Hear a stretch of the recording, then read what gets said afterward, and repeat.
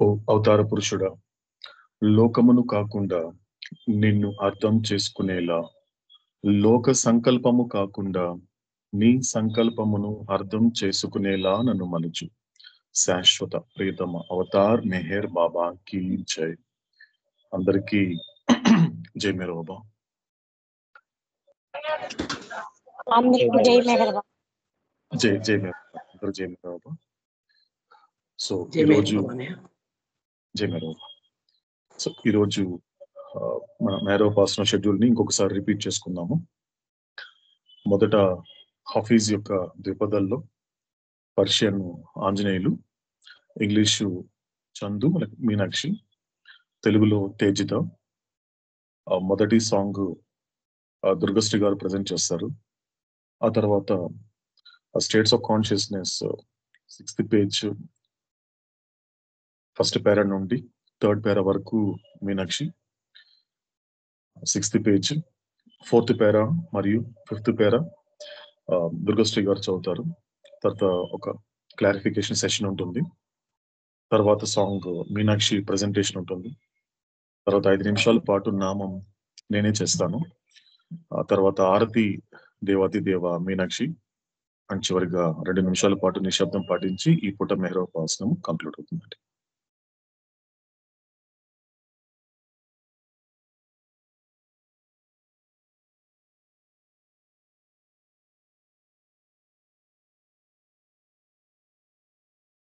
शाश्वत प्रियतम अवतार मेहर मामा की जय।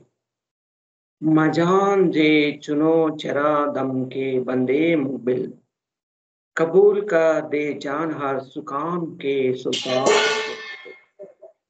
चुबुश नवी सुकान अहले दिल, मगु की कतास चुकाम सेनास नए दिल बरा कता इंजास बंदे पीर मुगोनम के जजह लंबर हम Pirmahar Chekunov and Anayat Basha, Faja Samsuddin Muhammad Hafiz A. Siraz.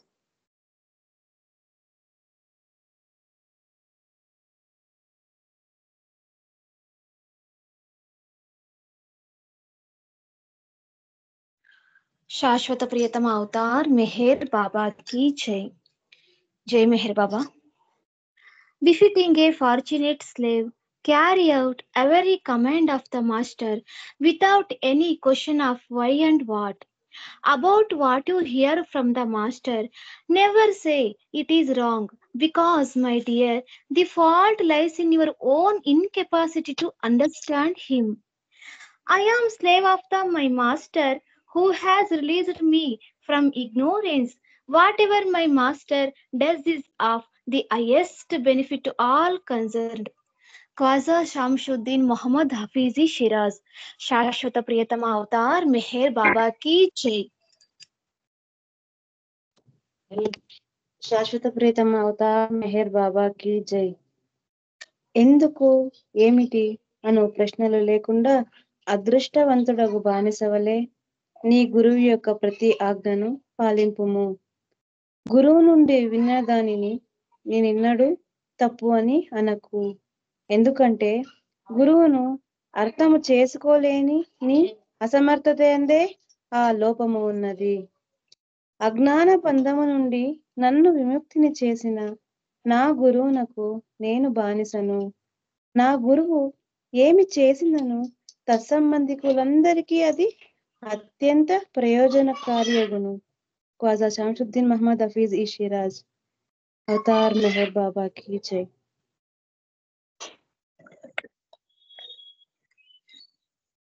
శాశ్వత ప్రియతమ అవతార్ మెహర్ బాబాకి జై. అందరికి జై మేర్ బామ్మ శాశ్వత ప్రియతమ అవతార్ మెహర్ బాబాకి జై. నేను పూనై మెహరు పాదాల మీద వాలనా.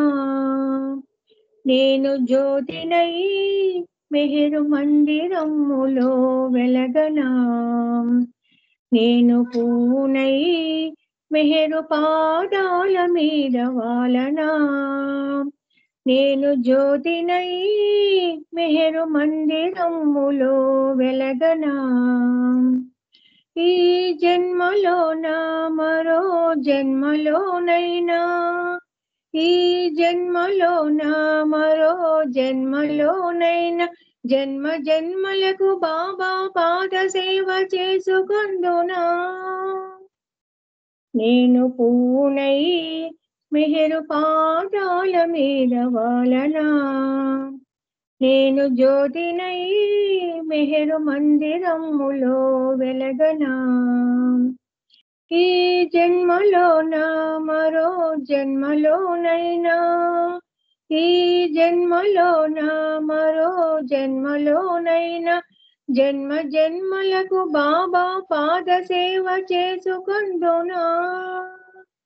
నేను పూనై మెహరు పాదాల మీద వాలనా. నేను జ్యోతినై మెహరు మందిరములో వెలగనా. మెహరు పాద సేవ ఇహ పరాలకే త్రోవా. మెహరు పాద సేవ ఇహ పరాలకే త్రోవ దానికన్నా మిన్నలేదు వినరావో జీవా. దానికన్నా మిన్నలేదు వినరావో జీవా. ద్రోహ బుద్ధి వీడరా దాసోహము అనుమురా.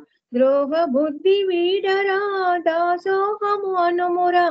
శ్రీ మెహరుని అనునిరతము సేవింపరా. శ్రీ మెహరుని అనునిరతము సేవింపరా. అది ముక్తికి మార్గం అని మరచిపోకురా. అది ముక్తికి మార్గం అని మరచిపోకురా. నేను పూనై మెహరు పాదాల మీద వాలనా. నేను జ్యోతినై మెహరు మందిరములో వెలగనా. దేహమనే బుడగలో అహమనే గాలి ఉంది. దేహమనే బుడగలో అహమనే గాలి ఉంది. అహముతో ఇహమునే శాశ్వతమనబోకురా అహముతో ఇహమునే శాశ్వతమనబోకురా గాలి విడిచి దేహము కట్టెలలో కాలురా. గాలి విడిచి దేహము కట్టెలలో కాలురా. కట్టి విడిచి జీవుడు ఆ గగనములో తిరుగురా. కట్టి విడిచి జీవుడు ఆ గగనములో తిరుగురా. ఆ జీవికి ఆధారము నేటికి నీ ప్రేమరా.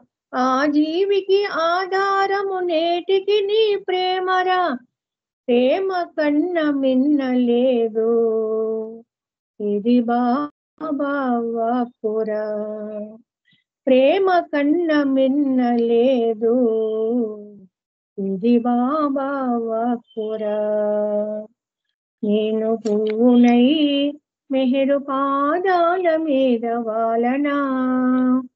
నేను జ్యోతినై మెహరు మందిరములో వెలగనా. ఈ జన్మలోన మరో జన్మలోనైనా. ఈ జన్మలోన మరో జన్మలోనైనా. జన్మ జన్మలకు బాబా పాద సేవ చేసుకుందునా. నేను పూనై మెహరు పాదాల మీద వాలనా. నేను జ్యోతినై మెహరు మందిరంబులో వెలగనా. శాశ్వత ప్రియతమ అవతార్ మెహర్ బాబా కి జై. ఈ పాట ఎప్పుడో ఎక్కడో ఉండిందమ్మా ఈ పాట. వెతికితే ఈ పాట చిక్కింది అనమాట నాకు దొరికింది. ఎప్పుడో పాడా అనమాట ఈ పాట. ఈ పాటకి ఇప్పుడే జస్ట్ హాఫ్ అన్ అవర్ ముందు ఈ పాట దొరికింది. బాబా ఇది ప్రయాణం చేయమన్నారు. బాబా అవకాశం ఇచ్చినారు. అంటే నేను పువ్వునే మెహరు పాదాల మీద వాలన నేను జ్యోతిని మెహరు మందిరములో వెలగన. అంటే ఆ, నేను పువ్వునై మెహరు పాదాల మీద. అంటే నేను పువ్వుగా అంతా వచ్చాను కాబట్టి జ్యోతిగా అలా రీన్ కార్నే ఎవల్యూషన్లు అన్ని ఉన్నాను కాబట్టి. అంటే బాబా చెప్తారు ఈ జన్మలోనే మరో జన్మలకి జన్మ వద్దనుకుంటున్నా బాబా రీఇన్కార్నేషన్ ఇంకా పడద్దు అంటున్నారు కదా. ఈ జన్మ రాహిత్యం చేసుకోవడానికే కదా మనకి ఈ మెహరోపాసం చేస్తున్నాము ఇంకా మరో జన్మ వద్దు ఇన్ని జన్మము లేటికి అన్నమయ్య చెప్పినట్టు ఇంకా జన్మే వద్దని కదా మనము ఈ మెహరోపాసన చేయటము మోస్తూ సమ్ము ప్యూ నుంచి వేరే ప్యూసులకి వెళ్ళి ఇంకా ఆయనలో ముక్తి జ్ఞానం చేత ముక్తిని మన మోక్షం చే- పొందాలని కదా ఈ మనం చేసేది. అంటే పాట ఇలా ఉందన్నమాట. జన్మ జన్మలకు బాబా పాద సేవ చేసుకుందున అలా ఇలా జన్మ జన్మలకు జన్మ ఉంటే ఇంకా ఆయన పాద సేవ చేసుకుందున అనేసి ఈ- ఈ పల్లవిలో. మెహరు పాద సేవ ఇహ పరాలకే త్రోవా. మెహరు పాద సేవ ఆయన పాద సేవ ఆయనతో ఆయనతో సేవ. సేవ అంటే మనకి బాబా అంటారు కదా సేవ అనకూడదు వర్క్ అంటారు. సేవ అనేది మనం చెప్పకూడదు మన వర్క్ అంటారు. అంటే మెహర్ బాబా పాద సేవ. ఇక మా దానికన్నా మిన్న లేదు వినరా ఓ జీవ. దానికన్నా మిన్న లేదు వినరా ఓ జీవుడికి చెప్తున్నాడు మెహర్ బాబా. ద్రోహ బుద్ధి వీడరా దాసోహము అనువురు అంటున్నాడు. ద్రోహ బుద్ధి వీడు మెహర్ బాబా చెప్తున్నారు. నా పాదసేవ చేసుకు ఇహపరాలకు దానికన్నా మిన్న లేదు. వినరా ఓ జీవ అంటే జీవుడు అంటే నాకు చెప్తున్నారు బాబా. ఓ జీవ నీకు చెప్తున్నాను. ద్రోహ బుద్ధి వీడరా దాసోహము అనువురా ద్రోహ బుద్ధి అంటే ఏమొస్తున్నారు? ఆ, ద్రోహం చేయాలా? ఆ అలా ఉంటుంది కదా ద్రోహ బుద్ధి. ఆ ద్రోహ బుద్ధి వీడి దాసోహము అనుమురా అని నాకు బాబా చెప్తున్నారన్నమాట. శ్రీ మెహరుని అనునిరతము సేవింపర. నన్ను నిరతము సేవింపు అది ముక్తికి మార్గం అని మర్చి మరచిపోవద్దు అని బాబా నాకు చెప్తున్నారనమాట ద్రోహ బుద్ధి వేడరా దాసోహము అనురా శ్రీ మెహరుని అనునిరతము సేవింపర అది ముక్తికి మార్గమని మరచిపోకురా అది ముక్తికి మార్గమని మరచిపోవద్దు అనేసి బాబా నాకు ఫస్ట్ చరణంలో బాబా ఇలా అర్థమయ్యేలా చెప్పారు. ఇంకా సెకండ్ చరణంలో ఈ నన్నే తీసుకుంటాను. ఈ దేహం అనే బుడగలో అహం అనే గాలి ఉంది. ఈ దేహం అనేది నా టెన్త్ చార్ట్ తీసుకుంటే మొత్తం సర్కిల్ అంతా కూడా బుడగే కదా బబులు.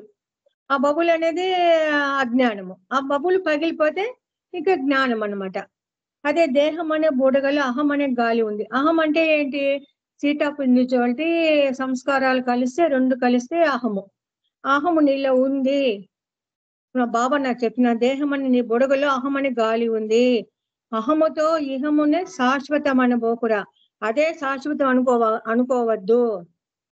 అహముతో ఇహమునే శాశ్వతం అనుకోకురా గాలి విడిచి దేహము కట్టెలలో కాలురా.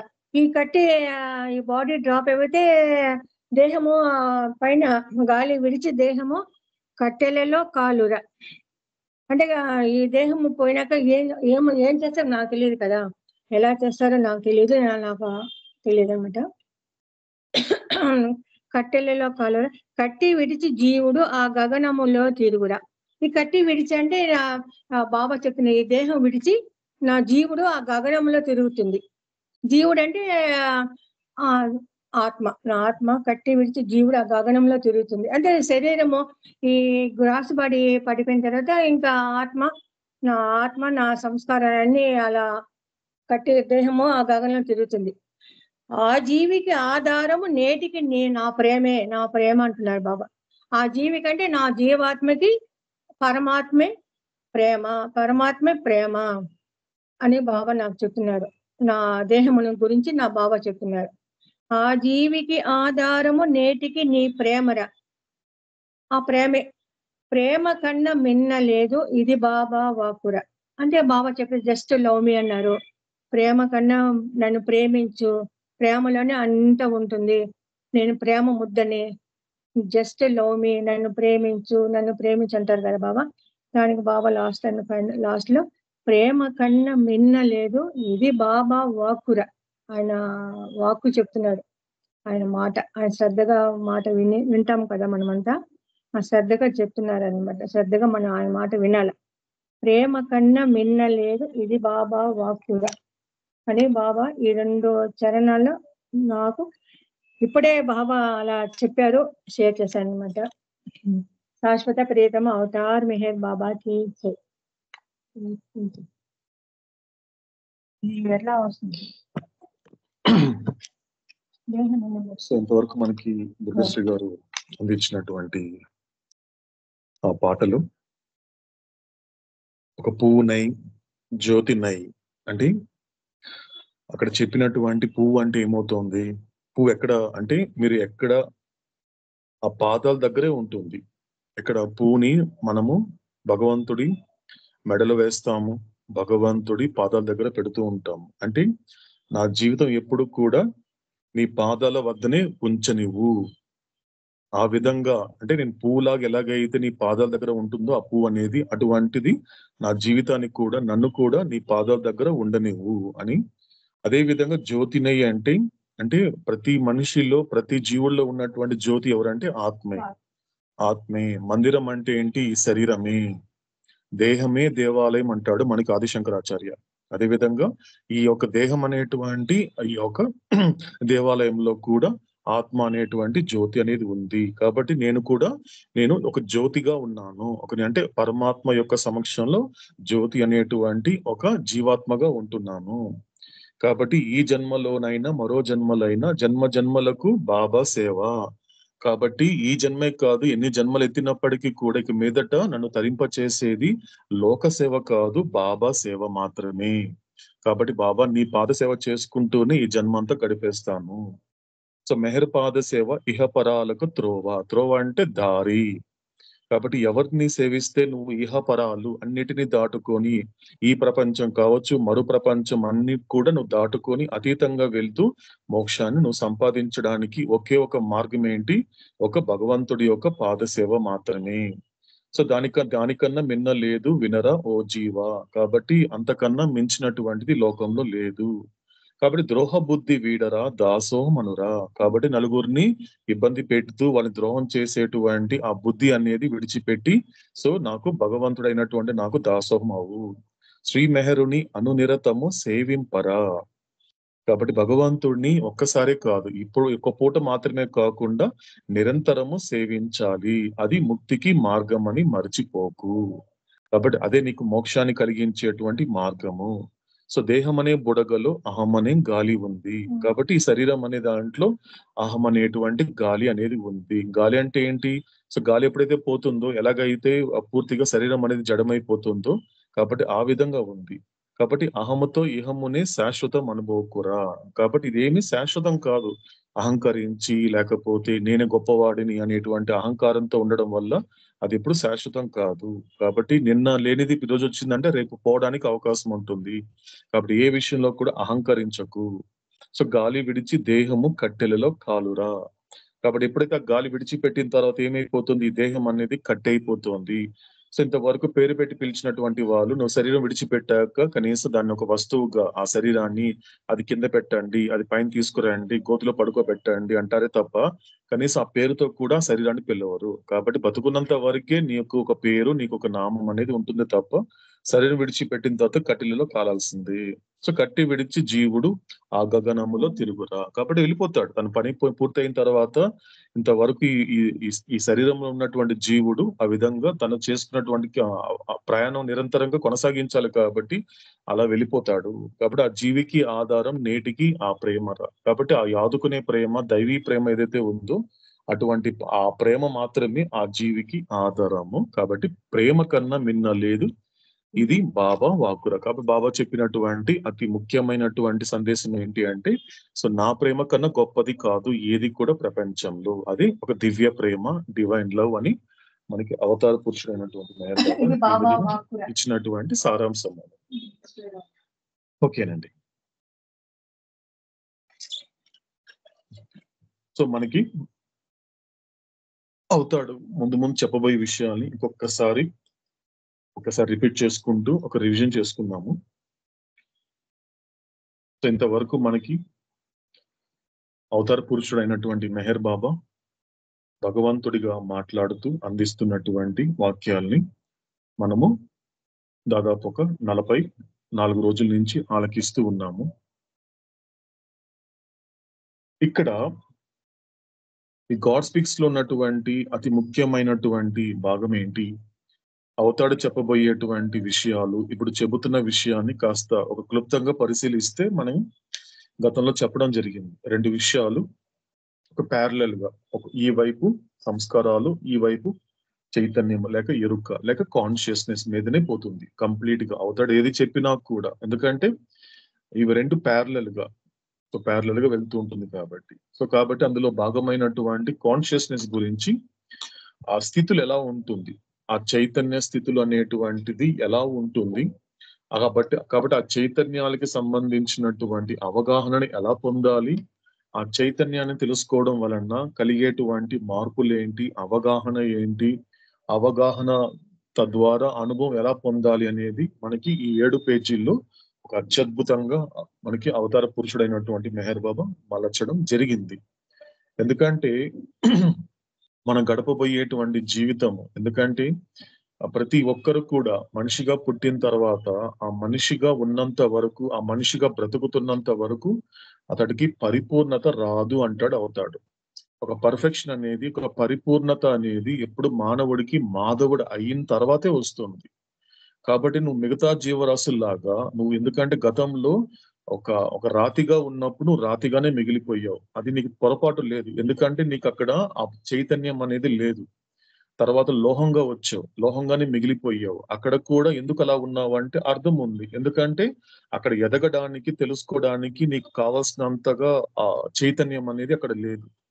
ఆ తర్వాత వచ్చినటువంటి క్రిమికీటకాలుగా తీసుకున్నప్పుడు తర్వాత వృక్షంగా తీసుకున్నప్పుడు నువ్వు ఆ తర్వాత వచ్చినటువంటి ఒక ఆ పక్షులు కావచ్చు జంతువులు కావచ్చు చేప కావచ్చు సో పరిణామ ప్రక్రియలో ఏదైనా కావచ్చు ఆ పరిణామ ప్రక్రియలో నువ్వు ఏ రూపం అయితే తీసుకున్నావో ఆ రూపానికి పరిమితం అయిపోయావు ఎక్కడ ఎదగలేదు. ఎందుకంటే కారణం ఏంటి ఎందుకు ఎదగలేకపోవడానికి కారణం ఏంటి అంటే ఎదగడానికి కావలసినటువంటి ఎరుక నీకు ఆయా రూపాలలో లేదు. కాబట్టి పరిణామ ప్రక్రియలో జరిగినటువంటి ఆ రాజ్యాలు ఏదైతే ఉన్నాయో ఆ రాజ్యంలో నువ్వు ఆ రూపాలకి ఆ ఆకారాలకి పరిమితం అయిపోయావు.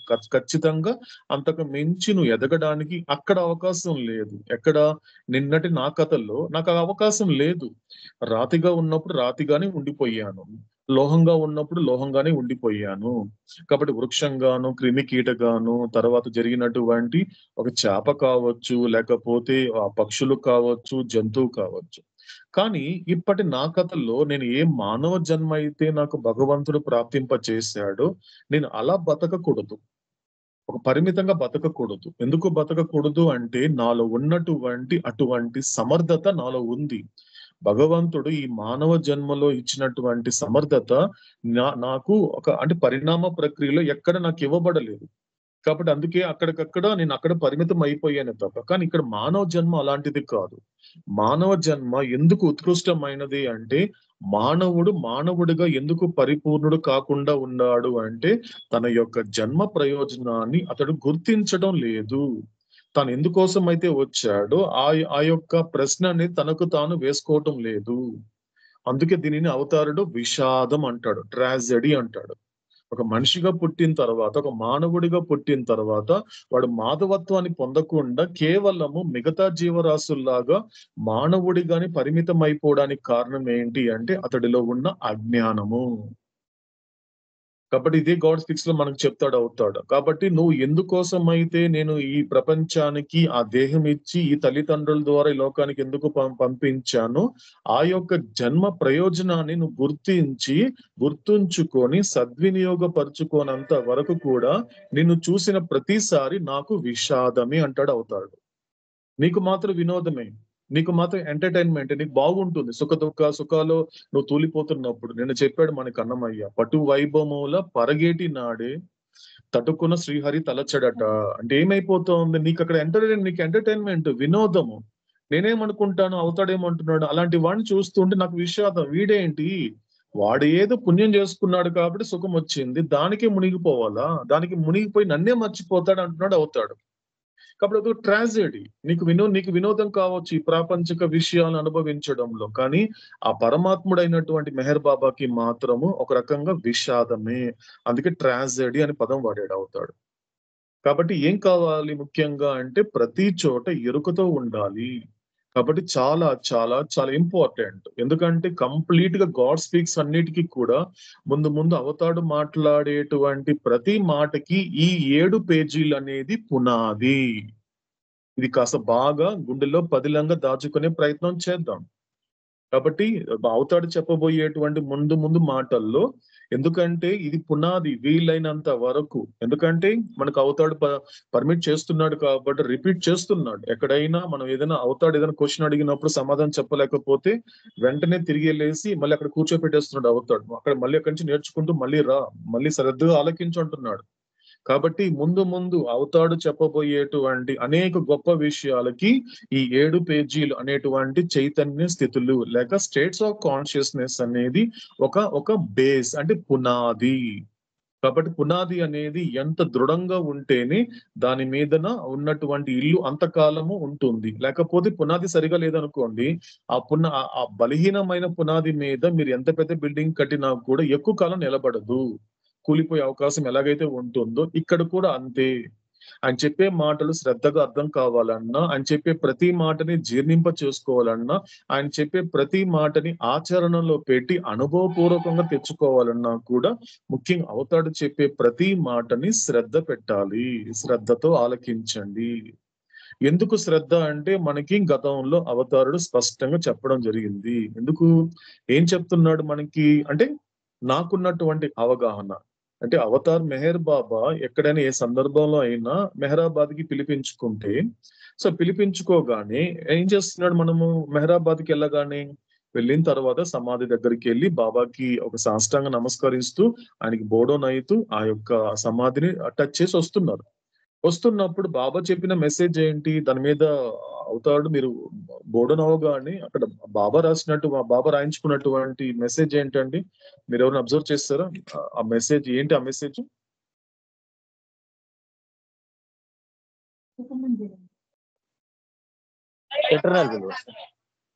ఎటర్నల్ బిలవెడ్ మెసేజ్ ఏంటండి? అని చెప్పి. మెసేజ్ సందేశం ఏంటి? I have not come to teach.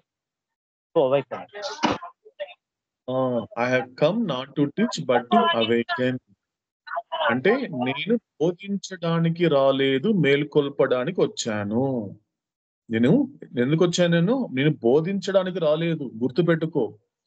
అంటే నేను నీ జీవితంలో నిన్ను నా జీవితంలో తీసుకొచ్చినప్పుడు నేను నీ జీవితంలోకి వచ్చినప్పుడు మెహర్ బాబా ఏదైనా బోధిస్తాడేమో? మెహర్ బాబా ఏదైనా బోధన ఉంటుందా? అంటే బోధన కాదు. ఎందుకంటే గాడ్ స్పీక్స్లో మెహరోపాసనంలో ఇప్పుడు జరిగేది మాత్రం బోధన కాదండి. బాగా అర్థం చేసుకోవాలి ఈ విషయం. ఇది టీచింగ్ కాదండి. ఇది టీచింగ్ కాదు. బాగా గుర్తుపెట్టుకోవాల్సిన విషయం. ఎందుకంటే టీచింగ్ అంటే రెండు రకాలు ఉంటుంది. ఆ టీచింగ్ అనేటువంటి ఇంగ్లీష్ పదానికి తెలుగులో రెండు రకాలుగా అర్థం చేసుకోవాలి. మొదటిది బోధన రెండవది నేర్పడం. నేర్పడం. ఇది నేర్పడం అనేది ఉండాలి. ఎందుకంటే అవతాడు ఏం చెప్తాడు అంటే ఈ మాట చెప్పే సందర్భంలో అవతాడు చెప్పినటువంటి కొంచెం ఎక్స్టెండ్ చేసిన విషయం ఏంటి అంటే ఆ భవిష్యత్తులో రాబోయే రోజుల్లో ముఖ్యంగా ఈ ఆధ్యాత్మికమైన పేరుతో చాలా మంది బోధకులు వస్తారు. గుర్తుపెట్టుకోండి బోధకులు అనేక మంది వస్తారు. ఈ బోధించడానికి అనేక మంది వస్తారు. భగవంతుడి పేరు మీద బోధించడానికి అనేక మంది వస్తారు. కరెక్ట్గా చెప్పాలంటే ప్రపంచం అంతా వాళ్ళతోనే నిండిపోతుందని చెప్పాడు అవుతాడు. ప్రపంచం అంతా వాళ్ళతోనే నిండిపోతుంది. ఆ బోధనల కోసమే జనాలు ఒక రకంగా దాన్ని తప్పిస్తారు. వాళ్ళ కోసం అది ఏం చెప్తాడు? ఆ బోధనల కోసం. ఇలా మిగిలిపోతుంది. కానీ ఎందుకంటే ఆ బోధన ఎలా ఉంటుంది అంటే గుర్తు పెట్టుకోండి నేను చెప్పే మాటని కాస్త జాగ్రత్తగా ఆలకించమని చెప్పాడు అవుతాడు ఎక్కడైనా బోధనల్లో కూడా గుర్తు పెట్టుకోండి ఒకటి ఆత్మ రెండు పరమాత్మ. ఈ రెండే నిజం. ఒకటి మా జీవుల్లో ఉన్నటువంటి ఏంటి ఇక్కడ? జీవుడు అంటే ఈ దేహాలతో సంబంధించినంత వరకు ఆత్మ అనేది నిజము. అంటే ప్రపంచాలకు సంబంధించినంత వరకు పరమాత్మ మాత్రమే నిజము. కాబట్టి ఏదైనా చెప్పాలి భగవంతుడు గురించినటువంటి విషయాలు తెలుసుకోవాలి అంటే ఈ రెండు తప్ప మిగతాది లేదు. కాబట్టి దేహాలకు సంబంధించినంత వరకు ఆత్మే నిజము ప్రపంచాలకు సంబంధించినంత వరకు పరమాత్మే నిజము.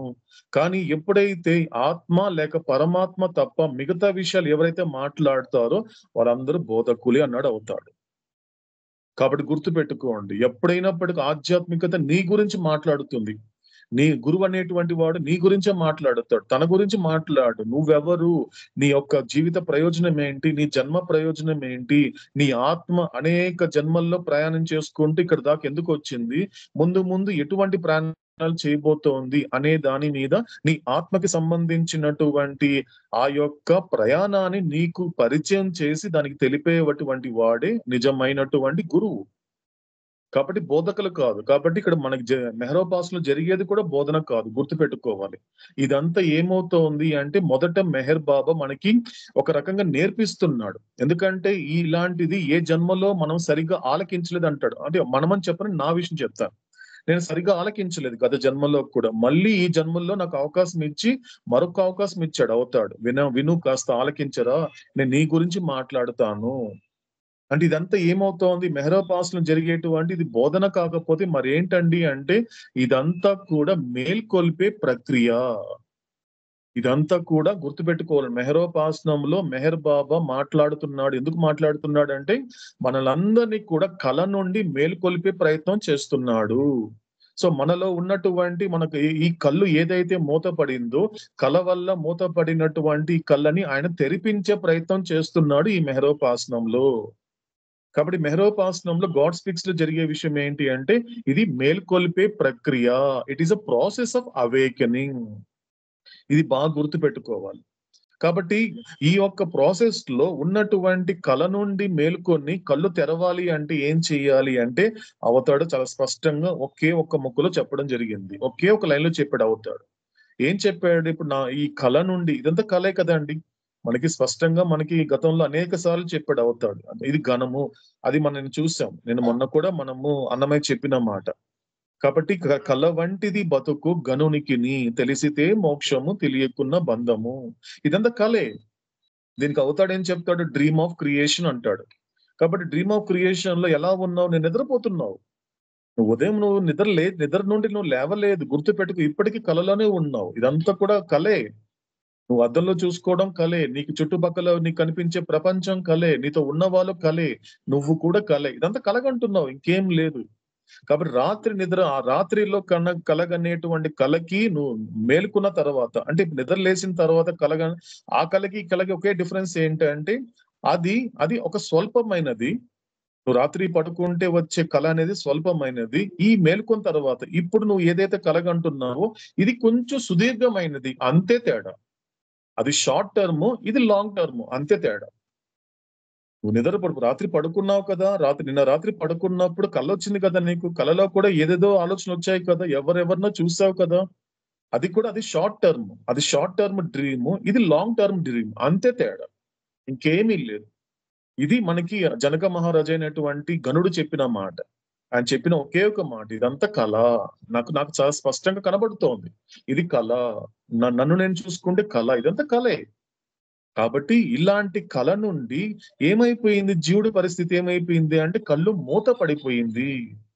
కాబట్టి నీ శరీరానికి సంబంధించినంత వరకు నువ్వు ఇంకా స్పందిస్తున్నావు అంటే ఈ ప్రపంచానికి సంబంధించినంత వరకు ఇంకా స్పందిస్తున్నావు అంటే నువ్వు నీ కళ్ళని మూతపడింది నువ్వు నీ కళ్ళు మూసుకోపోయింది. అందుకే నీకు తెలియట్లేదు నిజం తెలియట్లేదు. ఎంత చూపించినా కూడా కళ్ళు మూతపడి చూడాలని ప్రయత్నిస్తున్నావు తప్ప కళ్ళు తెరిచే ప్రయత్నం నువ్వు చేయటం లేదు. కాబట్టి దానికున్న ఒకే ఒక మార్గం ఏంటి అంటే అంటే I have come not to teach but to awaken అంటే నాకు అర్థమైనంత వరకు అండి.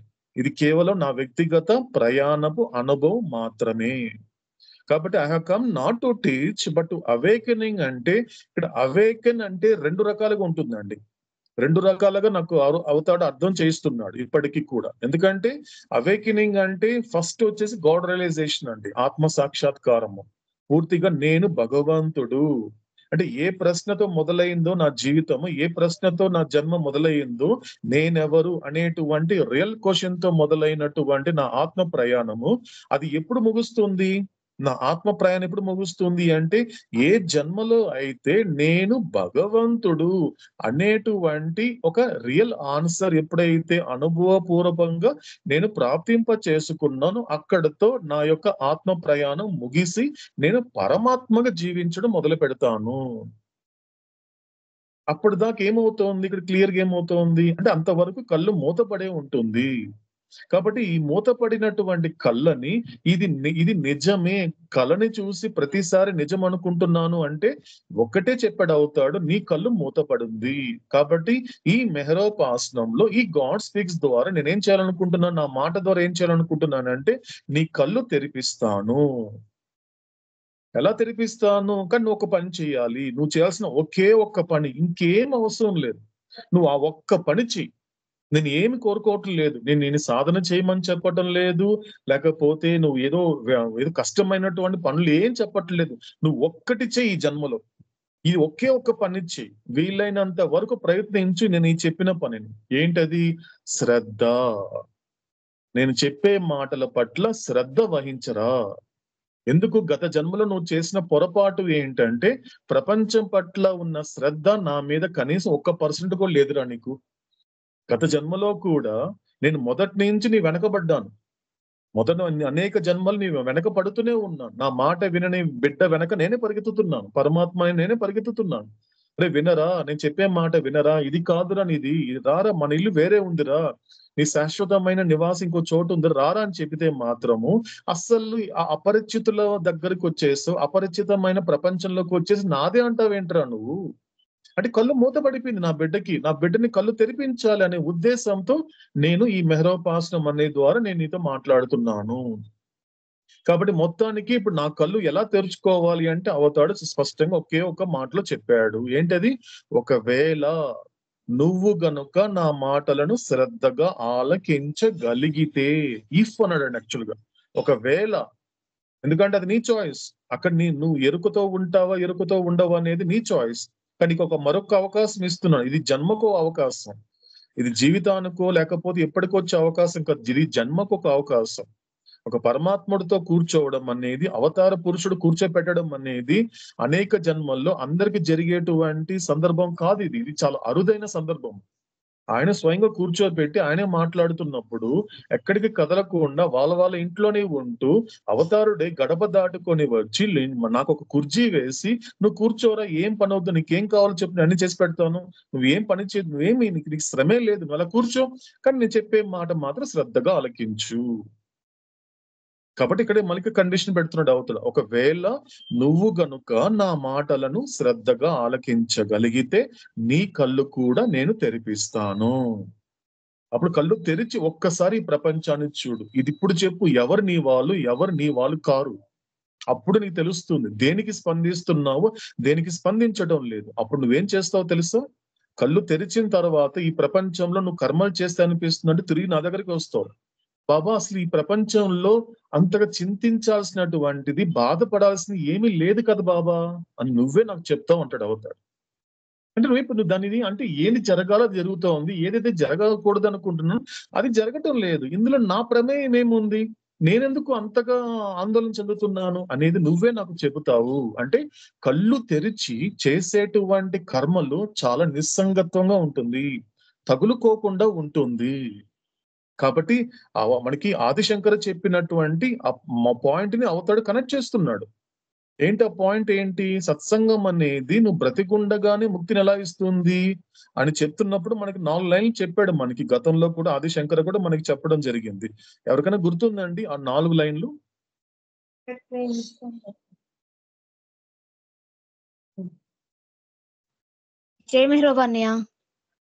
మీనాక్షి దేమరావు సత్సంగతి సత్సంగత్వే నిస్సంగత్వ. నిస్సంగత్వే నిర్మోహత్వ. నిర్మోహత్వే నిశ్చయతత్వ. నిశ్చయతత్వే జీవనం గ్రేట్ జై మహి. గుడ్ గుడ్ సో కాబట్టి సో సత్సంగత్వే నిస్సంగత్వం నిస్సంగత్వే నిర్మోహత్వం నిర్మోహత్వే నిశ్చలతత్వం నిశ్చలతత్వే జీవన్ ముక్తి అంటే సత్సంగం అనేది ఎంత గొప్ప స్థితికి తీసుకెళ్తుందో ఒక నాలుగు మాటల్లో చెప్పాడు ఆదిశంకరాచార్య ఆ భజ గోవిందంలో అంటే ఏం చేస్తుంది సత్సంగం అనేది? అంటే సత్సంగ సత్సంగం చేస్తూ చేస్తూ నువ్వు ఆ సత్సంగంలో పరిపక్వత వచ్చినప్పుడు నీకు నిస్సంగత్వం వస్తుంది. నిస్సంగత్వం అంటే ఏంటి? డిటాచ్మెంట్. అంటే ఏమైపోతుంది? నీకు నీకు కళ్ళు తెరిపించిన తర్వాత నువ్వు ఎటువంటి కర్మలు ఏ విధంగా తయారవుతావు అంటే నిస్సంగడుగా ఉంటావు. చుట్టూ అనేక మంది ఉంటారు. కానీ అంతర్గతంగా మాత్రం నువ్వు భగవంతుడితోనే ఉంటావు. చుట్టూ అనేక మంది ఏదైతే మాట్లాడుతున్నారు వాళ్ళకి నువ్వు స్పందించకుండా నువ్వు వాళ్ళకి చెందకుండా నీలో ఉన్నటువంటి అంతర్యామగా ఉన్న భగవంతుడికి నువ్వు స్పందిస్తావు. ఇది నిస్సంగత్వము. ఇది పూర్తిగా కంప్లీట్గా ఎక్కడ ఎవరికి ఏ విధంగా తగులుకోకుండా ఉండడమే నిస్సంగత్వము. కాబట్టి ఎంత ఎప్పటి వరకు చేయాలి సత్సంగం అనేది? నిస్సంగత్వం వచ్చేంత వరకు చేయాలి. నిస్సంగత్వ స్థితికి వచ్చేలా చేయాలి. కాబట్టి ఏం చేస్తుంది నిస్సంగత్వం అనేది నీకు తెలుపుతుంది. ఒక ఒక వివేకవంతమైన బుద్ధితో ఆలోచించేలా చేస్తుంది ఈ నిస్సంగత్వము. అప్పుడు నీకు స్పష్టంగా తెలుస్తుంది. ఏం తెలుస్తుంది క్లియర్గా ఈ ప్రపంచం అనేది ఏంటి? ఈ ప్రపంచానికి నాకున్న సంబంధం ఏంటి? సో నా తల్లిదండ్రులు ప్రపంచంలో ఉన్నారు భార్య బిడ్డలు ప్రపంచంలో ఉన్నారు నా యొక్క బంధువులు ప్రపంచంలో ఉన్నారు నా స్నేహితులు అందరూ కూడా ప్రపంచంలో ఉన్నారు. కాబట్టి ప్రపంచంలో ఉన్నటువంటి వీళ్ళందరితో నాకేంటి సంబంధము? వీళ్ళకి నాకేంటి సంబంధం? అనేటువంటిది ఒక వివేకవంతమైన బుద్ధితో ఆలోచించడం అనేది నిస్సంగత్వం చేస్తుంది. ఇది జరుగుతుంది. అవతార పురుషుడైనటువంటి మెహర్ బాబా మన కళ్ళు తెరిపించినప్పుడు.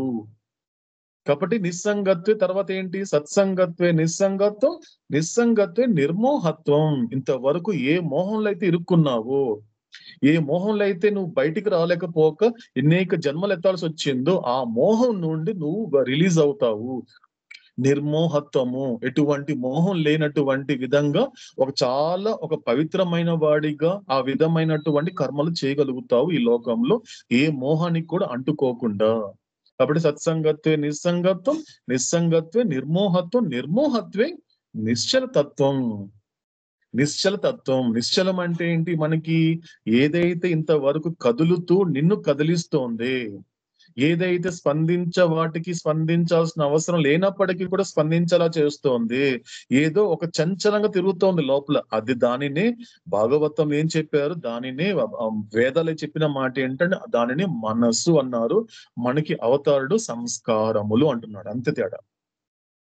కాబట్టి ఆ సంస్కారాలు నేను కదిలిస్తోంది. ఆ మనసుని కావచ్చు జీవుని కావచ్చు ఎవరినైనా కదిలించేది ఈ సంస్కారాలే. అటువంటి సంస్కారాలు ఏమైపోతుంది? కంప్లీట్గా చలమైన చలం చలం అంచ అచంచలంగా తిరిగేటువంటి అటువంటి సంస్కారాలు నెమ్మదిగా నిశ్చలం అయిపోతుంది అలా అటువంటి నిశ్చల స్థితికి చేరుకోవడమే నువ్వు బ్రతికున్నప్పుడు సాధించే ముక్తి. ఇది జరుగుతుందండి. శ్రద్ధ. ఇదంతా ఎలా జరుగుతుంది? ఒక్కటే చెప్పాడు అవుతాడు మన మెహరో మెహరోపాసనంలో శ్రద్ధ. ఒక్క మాటే. శ్రద్ధ పెట్టు. నా మాట మీద శ్రద్ధ పెట్టు. నీకు శ్రద్ధ ఆల్రెడీ ఉంది. నీకు శ్రద్ధ ఆల్రెడీ ఉంది. నాకు శ్రద్ధ ఎక్కడి నుంచి వస్తుందని ఆలోచించుకో నువ్వు. దాని విచారణ చేయాల్సిన అవసరం కూడా లేదు. శ్రద్ధ ఆల్రెడీ ఉంది. నీకు ప్రపంచం మీద ఉన్న శ్రద్ధ. మనం చెప్పుకున్నాం. గతంలో కూడా అనేక ఎగ్జాంపుల్స్ చెప్పాడు అవుతాడు. రోడ్డు క్రాస్ చేస్తున్నప్పుడు నువ్వు ఎంత శ్రద్ధగా దాడుతావు? నువ్వు వంట వంటింట్లో వంట చేస్తున్నప్పుడు ఎంత శ్రద్ధగా చేస్తావు? అదంతా కూడా మంటే కదా. అదన్నీ కూడా ఒక డేంజర్ అయినటువంటి గ్యాస్లే కదా అదంతా కూడా. కానీ ఎంత చక్కగా చేస్తున్నావు? గ్యాస్ని ఎక్కడ వాడాలి? ఎప్పుడు వంట వాడుతున్నప్పుడు ఆ బర్నర్స్ అనేది కూడా ఎంత తక్కువలో వాడాలి? ఎక్కడ ఎక్కువ వాడాలి? అనే శ్రద్ధ పెడుతున్నావు కదా అక్కడ వంటింట్లో వంట చేస్తున్నప్పుడు? ఉద్యోగం చేస్తున్నప్పుడు కూడా శ్రద్ధగా ఉద్యోగం చేస్తున్నావు కదా ఎంత వరకు చేయాలి? ఎంత జాగ్రత్తగా చేయాలి? ఇంతకు మించి మనం ఎక్కువ కూడా మన పరిమితి దాటకూడదు. పరిమితి దాటితే మనకి ఇబ్బంది అయిపోతుంది సమాజంలో. కాబట్టి ఎంతగా శ్రద్ధ పెడుతున్నావు ప్రాపంచిక విషయాల్లో? నేను ఆ శ్రద్ధనే కోరుకుంటున్నాను.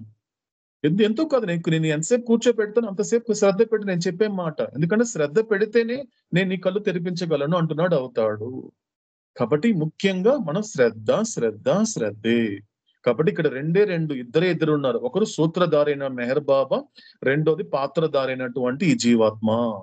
సో ఆయన పా ఆయన సూత్రధారి ఎవరు? పరమాత్మ. కాబట్టి ఆయనకు ఒక పాత్ర ఉంది నాకు ఒక పాత్ర ఇచ్చాడు. కాబట్టి సూత్రధారైనటువంటి మెహర్ ఒక పాత్ర ఏంటి? ఏం చెప్పాడు మనకు అవుతాడు? మాట్లాడే శ్రమ నాది అన్నాడు అవుతాడు. ఇక్కడ మాట్లాడేది నేనే. ఎవరు మాట్లాడట్లేదు ఈ లోకంలో ఎవరు మాట్లాడలేదు. ఒకవేళ నిజం మాట్లాడనంత వరకు నా దృష్టిలో వాళ్ళు ఏం మాట్లాడనట్టే. తెలుసుకొని మాట్లాడనంత వరకు వాళ్ళు ఏది మాట్లాడినా అది మాటలకే పరిమితమే తప్ప నిజం కాదు. కాబట్టి నిజానికి ఈ లోకంలో ఈ సృష్టిలో ఈ సమస్త విషయంలో మాట్లాడేది నేను మాత్రమే. కాబట్టి మాట్లాడడంలో శ్రమ ఉంది కాబట్టి ఆ మాట్లాడే శ్రమ నాది. ఇకపోతే నా నా పాత్ర ఏంటి బాబా అని అన్నప్పుడు నువ్వేంటో తెలుసా? నీ పాత్ర ఏంటో తెలుసా? ఆలకించే శ్రద్ధ నీది.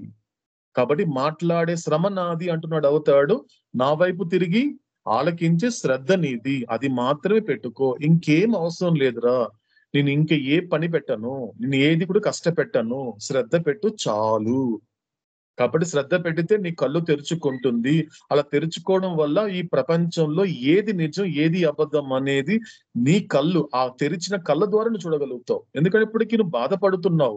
ఇంకా స్థూల సూక్ష్మ మానసిక శరీరాల పట్ల ఇంకా స్పందిస్తున్నావు అంటే నీ కళ్ళు మూతపడిందని అర్థము. ఇంకా స్థూల ప్రపంచము సూక్ష్మ ప్రపంచము మానసిక ప్రపంచాల పట్ల ఇంకా నువ్వు ప్రభావితం అవుతున్నావు అంటే నేను ఒకటే చెబుతున్నా నువ్వు ఇంకా కళ్ళు కళ్ళు మూతపడి ఉంది ఇప్పటికి కలగంటున్నావురా నువ్వు. కాబట్టి నేను భగవంతుడు. ఆత్మ యొక్క ఎరుకతో పాటు పరమాత్మ యొక్క అనుభవం పొందనంత వరకు నువ్వు పూర్తిగా ఎరుకలోకి అంటే పూర్తిగా అనుభవము పూర్తిగా ఆ యొక్క ఆ జాగృతము మేల్కోవడం అనేది జరగదు. కాబట్టి ఇది నాకు నేను మీకు చెప్పదలుచుకున్న విషయాలు. కాబట్టి అందుకనే కూడా సో నేను ఎంచుకున్నటువంటి ఆత్మల్ని నా వద్ద కూర్చోపెట్టుకొని నా నేను చెప్పాల్సిన మాటలు చెబుతున్నాను అని మనందరి ఆత్మల్ని అవతార్ మెహర్ బాబా అయినటువంటి పరమాత్ముడు ఈ క్షణంలో కొన్ని రోజులుగా కూర్చోపెట్టి తను చెప్పాల్సిన విషయాలు మనకి అందిస్తున్నాడు. కాబట్టి చెప్పే ప్రతి మాటని మరొకసారి శ్రద్ధతో ఆలకించే ప్రయత్నం చేద్దామండి. కాబట్టి ఆ భాగంగా మనం ఏం చేస్తున్నాం? మనకి స్టేట్స్ ఆఫ్ కాన్షియస్నెస్ అనేది అవుతాడు స్టార్ట్ చేయడం జరిగింది. కాబట్టి ఎప్పుడైతే బుక్ ఓపెన్ చేయగానే ఎందుకంటే గాడ్ స్పీక్స్ ఎప్పుడైతే ఓపెన్ చేయగానే ఒక్కొక్క పేజీల్లో ఒక్కొక్క పేర దేనికి సంబంధించింది అనేది ఒక అవగాహన రావాలి. మన అదే మనం మనకి అవుతాడు అందుకే సులువుగా అందిస్తున్నాడు. గాడ్ స్పీక్స్ ఇన్ గ్రిప్ అంటే నీకు నీ గుప్పెట్లో గాడ్ స్పీక్స్ వచ్చేలా చేస్తున్నాడు అవుతాడు అంటే ఏం చేస్తున్నాడు? ఒక్కొక్క పా ఒక్కొక్క పేర. ఫస్ట్ ఫర్ ఎగ్జాంపుల్ ఏంటి? ఫస్ట్ పేజ్లో ఫస్ట్ పేర అంతా కూడా అంటే నేనెవరో నాకు చెప్పాడు. అంటే ఒకవేళ నేను వ్యక్తిగతంగా తీసుకున్నప్పుడు వ్యక్తిగతంగా నేను కనెక్ట్ చేసుకుంటున్నప్పుడు నాకు ఏం చెప్తున్నాడు అవుతాడు? నాతో ఏం మాట్లాడుతున్నాడు అవుతాడు? అంటే మొదటి పేజీలో మొదటి పేర అంత దేని గురించి అంటే నా నిజ అస్తిత్వము. నేను ఎవరినో చెప్తున్నాడు అవుతాడు. నేను ఎవరినో చెప్తున్నాడు. అందుకే మొట్టమొదటిగా మొట్టమొదటి లైన్ ఏంటి? ఆత్మలు. సమస్త ఆత్మలు. ఆల్ సోల్స్ అన్నాడు అవుతాడు. ప్రతి ఆత్మ అన్ని కూడా అంటే కొంచెం ఒక ఇండివిజువల్ కనెక్ట్ చేసుకుంటే అది నా ఆత్మ గురించి మాట్లాడుతున్నాడు. నేను ఒక ఆత్మని. కాబట్టి ఆత్మగా ఉన్నప్పుడు గతంలో కానీ ప్రస్తుతం కానీ భవిష్యత్తులో కానీ నేను ఎక్కడ ఉంటాను అంటే పరమాత్మలో ఉంటావు. కాబట్టి ప్రపంచంలో ఉండేది దేహాలే. కాబట్టి ప్రపంచంలోకి వచ్చేది దేహాలే తప్ప ఎక్కడో నువ్వు లేవు నువ్వు ఉండేది నిజానికి ఆత్మగా పరమాత్మలోనే ఉన్నావు. ఒక రకంగా ఒక్క ఒక్క లైన్లో చెప్పేసాడు అవుతాడు నా నిజమైన అస్తిత్వం గురించి. నా రియాలిటీ నా యొక్క రియల్ ఎగ్జిస్టెన్స్ ఏదైతే ఉందో మెహర్ బాబా చెప్పేస్తున్నాడు లైన్గా కాబట్టి చెప్పిన తర్వాత ఏం చెప్తున్నాడు అవుతాడు? ఆత్మలుగా నీతో పాటు ఉన్నటువంటి సమస్త ఆత్మలు కూడా ఒక్కటే. నీ కళ్ళ ముందు కనిపించేటువంటి రాతి కావచ్చు నీ పక్కన ఉన్నటువంటి లోహం కావచ్చు నీ నీ యొక్క ఆకలి తీర్చేటువంటి వృక్షం కావచ్చు తర్వాత ఉన్నటువంటి క్రిమి కీటకాలు కావచ్చు ఆ తర్వాత ఉన్నటువంటి చేపలు తర్వాత పక్షులు జంతువులు వీళ్ళందరూ కూడా నీతో పాటు ఒక్కరే ఆత్మలుగా. దేహాలే వేరు ఆకారాలే వేరు. అక్కడ ఉన్నటువంటి ఎరుకలే వేరు తప్ప నిజానికి ఆత్మగా తీసుకుంటే వాళ్ళకి నీకు పెద్ద తేడా లేదు. ఒక్కటే అంటున్నాడు అవుతాడు. కాబట్టి చెబుతూ ఏం చెప్తున్నాడు? మళ్ళీ అదే పేరాల్లో ఆత్మగా ఒక నిజమైన అస్తిత్వంగా ఉన్నటువంటి నా లక్షణాలు చెప్తున్నాడు అవుతాడు. ఏం చెప్తున్నాడు అవుతాడు లక్షణాలు? నువ్వు అనంతమైన వాడివి. అంటే దేహంగా కాదు ఆత్మగా నువ్వు అనంతమైన వాడి శాశ్వతమైన వాడివి. నువ్వు ఆత్మగా ఉన్నావు కాబట్టి నీకు నువ్వు ఒక రూపరహితుడివి. నీకు ఎటువంటి రూపం లేదు. రూపం అనేది లేదు. ఆత్మగా ఉన్నంత వరకు నీకు రూపం లేదు. కాబట్టి అనంతమైన వాడిని నేను మాత్రమే కాదు శాశ్వతమైన వాడిని నేను మాత్రమే కాదు నువ్వు కూడా ఆత్మగా శాశ్వతమైన వాడివి. కాబట్టి ఏం జరుగుతోంది? అలా అంతటా అన్ని ఒక్కటే అనే విధంగా నేను చూడలేకపోతున్నాను కదా. నా సమస్య అదే కదా. వాడు వేరు వీడు వేరు అనేటువంటి ఆ వ్యత్యాసాలు కనిపిస్తోంది కదా. అది ఎక్కడుంది అనేది చాలా అందంగా అందిస్తున్నాడు అవుతాడు. ఎక్కడుంది? అంటే ఆత్మగా ఉన్నప్పుడు ఉన్నప్పుడు నాకు ఎటువంటి డిఫరెన్స్ లేదు. కానీ సెకండ్ పేరా వచ్చేసరికి అసలు వ్యత్యాసాలు ఎక్కడ మొదలైంది? ఎందుకంటే నీ జీవితాన్ని శాసించేది కరెక్ట్గా చెప్పాలి అంటే ఈ వ్యత్యాసాలే. ఎందుకంటే ఎందుకంటే నీకు నీకు నీకు ఆ వ్యక్తి అంటే ఇష్టము ఈ వ్యక్తి అంటే ఇష్టం లేదు. డిఫరెన్స్ చూపిస్తున్నావు. నాకు ఆహారం అంటే ఇష్టం అండి ఈ ఆహారం ఇష్టం లేదండి. డిఫరెన్స్ చూపిస్తున్నావు.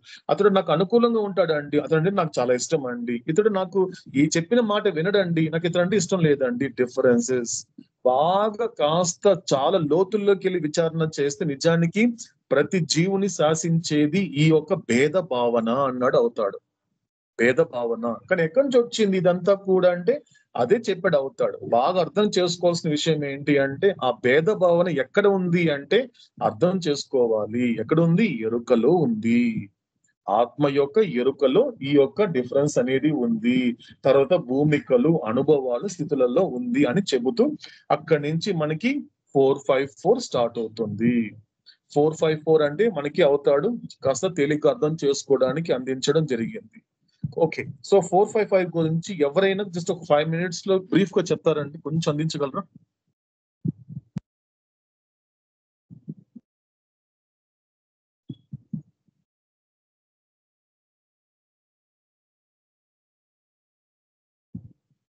నా ఫోర్ ఫైవ్ ఫోర్ అంటే ఏంటో చెప్తారా కొంచెం? ఫోర్ అంటే ఏంటి? ఫైవ్ అంటే ఏంటి? ఆ తర్వాత వచ్చే ఫోర్ ఏంటి?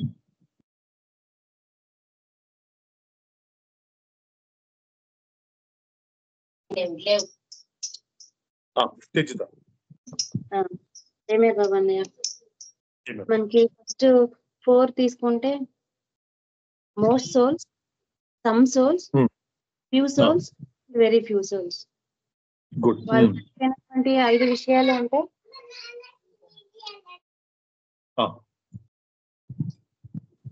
కనెక్ట్ అయిన విషయం ఇవి అంటే consciousness experience and planes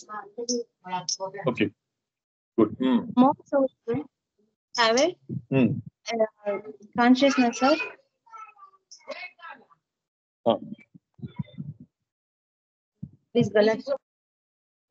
consciousness gross body yes అంటే ఇక్కడ ఏం చేస్తున్నారు ఇక్కడ? అంటే ఈ ఫోర్ ఫైవ్ ఫోర్ ఏమవుతోంది మన ఫోర్ అంటే మనం చెప్పింది. Yes continue continue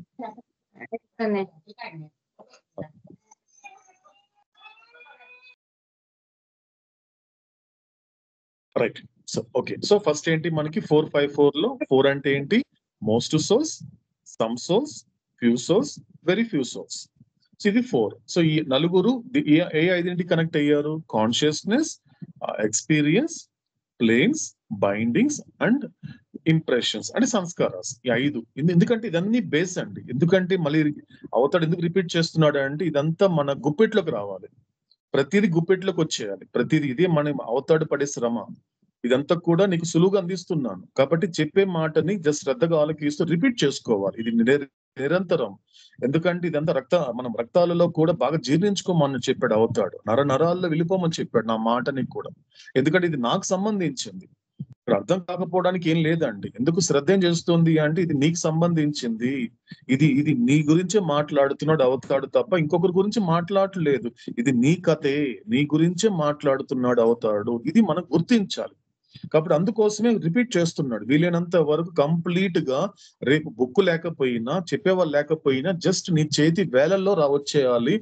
అవతాడు చెప్పే ప్రతి మాట అందుకొస్తూ అందుకు అందిస్తున్నాడు. కాబట్టి ఈ నలుగురు దేని కనెక్ట్ అవుతారు? కాన్షియస్నెస్ ఎక్స్పీరియన్స్ ఉండేటువంటి planes and bindings and impressions ఉండేది ఇవే. ఈ ఐదే ఉండేది. ఇంకేమీ లేవు. కాబట్టి ఇక్కడ ఎలా తీసుకోవాలి? ఫస్ట్ ఆఫ్ ఆల్ కాన్షియస్ తీసుకున్నప్పుడు కాన్షియస్ అంటే దేనికి సంబంధించిన కాన్షియస్నెస్ ఎక్స్పీరియన్స్ అంటే దేనికి సంబంధించిన ఎక్స్పీరియన్స్ ప్రయాణం చేస్తున్నప్పుడు దేని మీద ప్రయాణం చేస్తారు? దేనిని కలిగి ఉన్నారు? దేనిని కలిగి ఉండడం ద్వారా మరొక దాన్ని కలిగి ఉన్నారు? ఇది మూడు అర్థం కావాలి. మొదటిది ఏంటి అంటే ఇక్కడ అవతాడు ఈ భాష మారిపోయిందండి. ఇంకొకసారి రిపీట్ చేసుకుందాం. భాష అండి ఇది చాలా ఇంప చాలా గొప్ప భాష ఇది. అవతాడు నేర్పించే భాష ఇది ఇది ఒక ఇది ఇట్స్ లాంగ్వేజ్ ఆఫ్ రియాలిటీ ఇది ఒక నిజ భాష. ఇది తెలుగో కన్నడో లేకపోతే హిందీయో ఇంగ్లీష్ కాదండి. నన్ను అడిగితే నాకు నాకు అర్థమవుతున్నంత వరకు it's a language of reality నిజంగా మాట్లాడాలి. నిజమైన భాష తెలిసిన వాడు నిజంగానే మాట్లాడతాడు హానెస్టీగా ఉంటాడు సిన్సియర్గా ఉంటాడు. అలా మాటలు విన్నటువంటి అవతాడు పొంగిపోతాడండి. ఆహా ఇది కదా వీడి మాటలు వీడి నోరిచ్చి వీడిని మాట్లాడిస్తున్నానంటే ఈ రియల్ థింగ్సే కదా మాట్లాడాలి. వీడు ఈ మాటలు మాట్లాడుతున్నాడు నిజం మాట్లాడుతున్నాడు అంటే అందుకే ఆస్పిరెంట్ మన గతంలో అనేక మంది ఆస్పిరెంట్స్ గురించి మాట్లాడుకున్నాం. ఒక అన్నమయ్య కావచ్చు ఒక రమణ మహర్షి కావచ్చు లేకపోతే హఫీజ్ కావచ్చు రూమీ కావచ్చు అనేక మంది ఎలా మాట్లాడతారండి వాళ్ళందరూ కూడా? ఎలా మాట్లాడతారు? ఎలా ఉంటుంది? ఆ నిజ భాష ఎలా ఉంటుంది? ఇప్పుడు సాధారణంగా ఇద్దరు మనుషులు కలిసినప్పుడు చెప్పే ఒక అడిగే క్వశ్చన్ ఏంటండి? మామూలుగా ఇద్దరు మనుషులు కలిసారండి చాలా కాలం తర్వాత. ఏం అడుగుతారండి ఎలా ఒకరినొకరు విష్ చేసుకుంటారు మామూలుగా అయితే? ఎలా ఉన్నావు? హౌ ఆర్ యూ అంటారు. అవునా కదండి? ఎవరు కనిపించినప్పుడు తెలిసిన వాళ్ళు కావచ్చు కాస్త పరిచయం ఉన్న వ్యక్తిని చూడగానే ఏమనిపిస్తుంది? హౌ ఆర్ యూ ఎలా ఉన్నావు? ఇది జనరల్గా జరిగేటువంటి కన్వర్జేషన్ ఎలా ఉన్నారు? బాగున్నావా? అని అడుగుతారు. అడిగినప్పుడు కానీ ఇది చిన్న కన్వర్జేషన్ ఇది పెద్దదేం కాదు. పెద్దదేం కాదండి. కానీ ఈ విషయాన్ని హఫీజ్ అనేటువంటి సద్గురు హఫీజ్ అనేటువంటి ఒక గురు దాసుడు ఏం చెప్పే మాట ఎలా ఉంటుంది? దివాని హఫీజ్లో ఉంటుందండి ఇంత. ఏం చెప్తాడు అంటే ఎవరైనా ఇది హఫీజ్ చెప్తున్నాడు అండి ఎవరైనా నన్ను ఎలా ఉన్నావు హఫీజ్ అని అడిగితే నా దగ్గర కొన్ని వేల కొలది తెలివైన అబద్ధాలున్నాయి అన్నాడు ఇప్పుడు ఈ ఈ మాటని ఒక్కసారి కనెక్ట్ చేసుకుందామండి. మాట్లాడే భాష ఎలా ఉంటుంది అంటే ఎవరితోనో మాట్లాడుతున్నప్పుడు ఎలా ఉన్నావు అంటే ఆ ప్రశ్న పూర్తి కాకముందు చెప్పేస్తున్నాం బాగున్నాను అంటున్నాను బాగున్నాను అన్నాను ఆ బాగుండడం అనేది నిజంగా నిజంగా నువ్వు బాగున్నావా? ఒక్కసారి ప్రశ్నించుకుంటే నువ్వు ఆలోచించే ఆలోచనలో బాగున్నావా? మాట్లాడే మాటల్లో బాగున్నావా? లేకపోతే చేసే కర్మలో బాగున్నావా? నిజంగా బాగున్నావా? అని ప్రశ్నించితే మాత్రము ఆ మాట్లాడే వ్యక్తి అలా చెప్పే వ్యక్తి కాసేపు ఆగుతాడు. అంటే ఇక్కడ ఏం చెప్తున్నాడు హఫీజు? నన్ను ఎవరైనా బాగున్నావా హఫీజ్? అంటే ఏమంటున్నాడు? నా దగ్గర ఏముంది? నేను బాగున్నానని చెప్పను. కానీ నేనేం చెప్తాను? అబద్ధాలు చెప్తాను. ఎలాంటి అబద్ధాలు? అంటే కొన్ని వేల కొలది తెలివైన అబద్ధాలు చెప్తాను.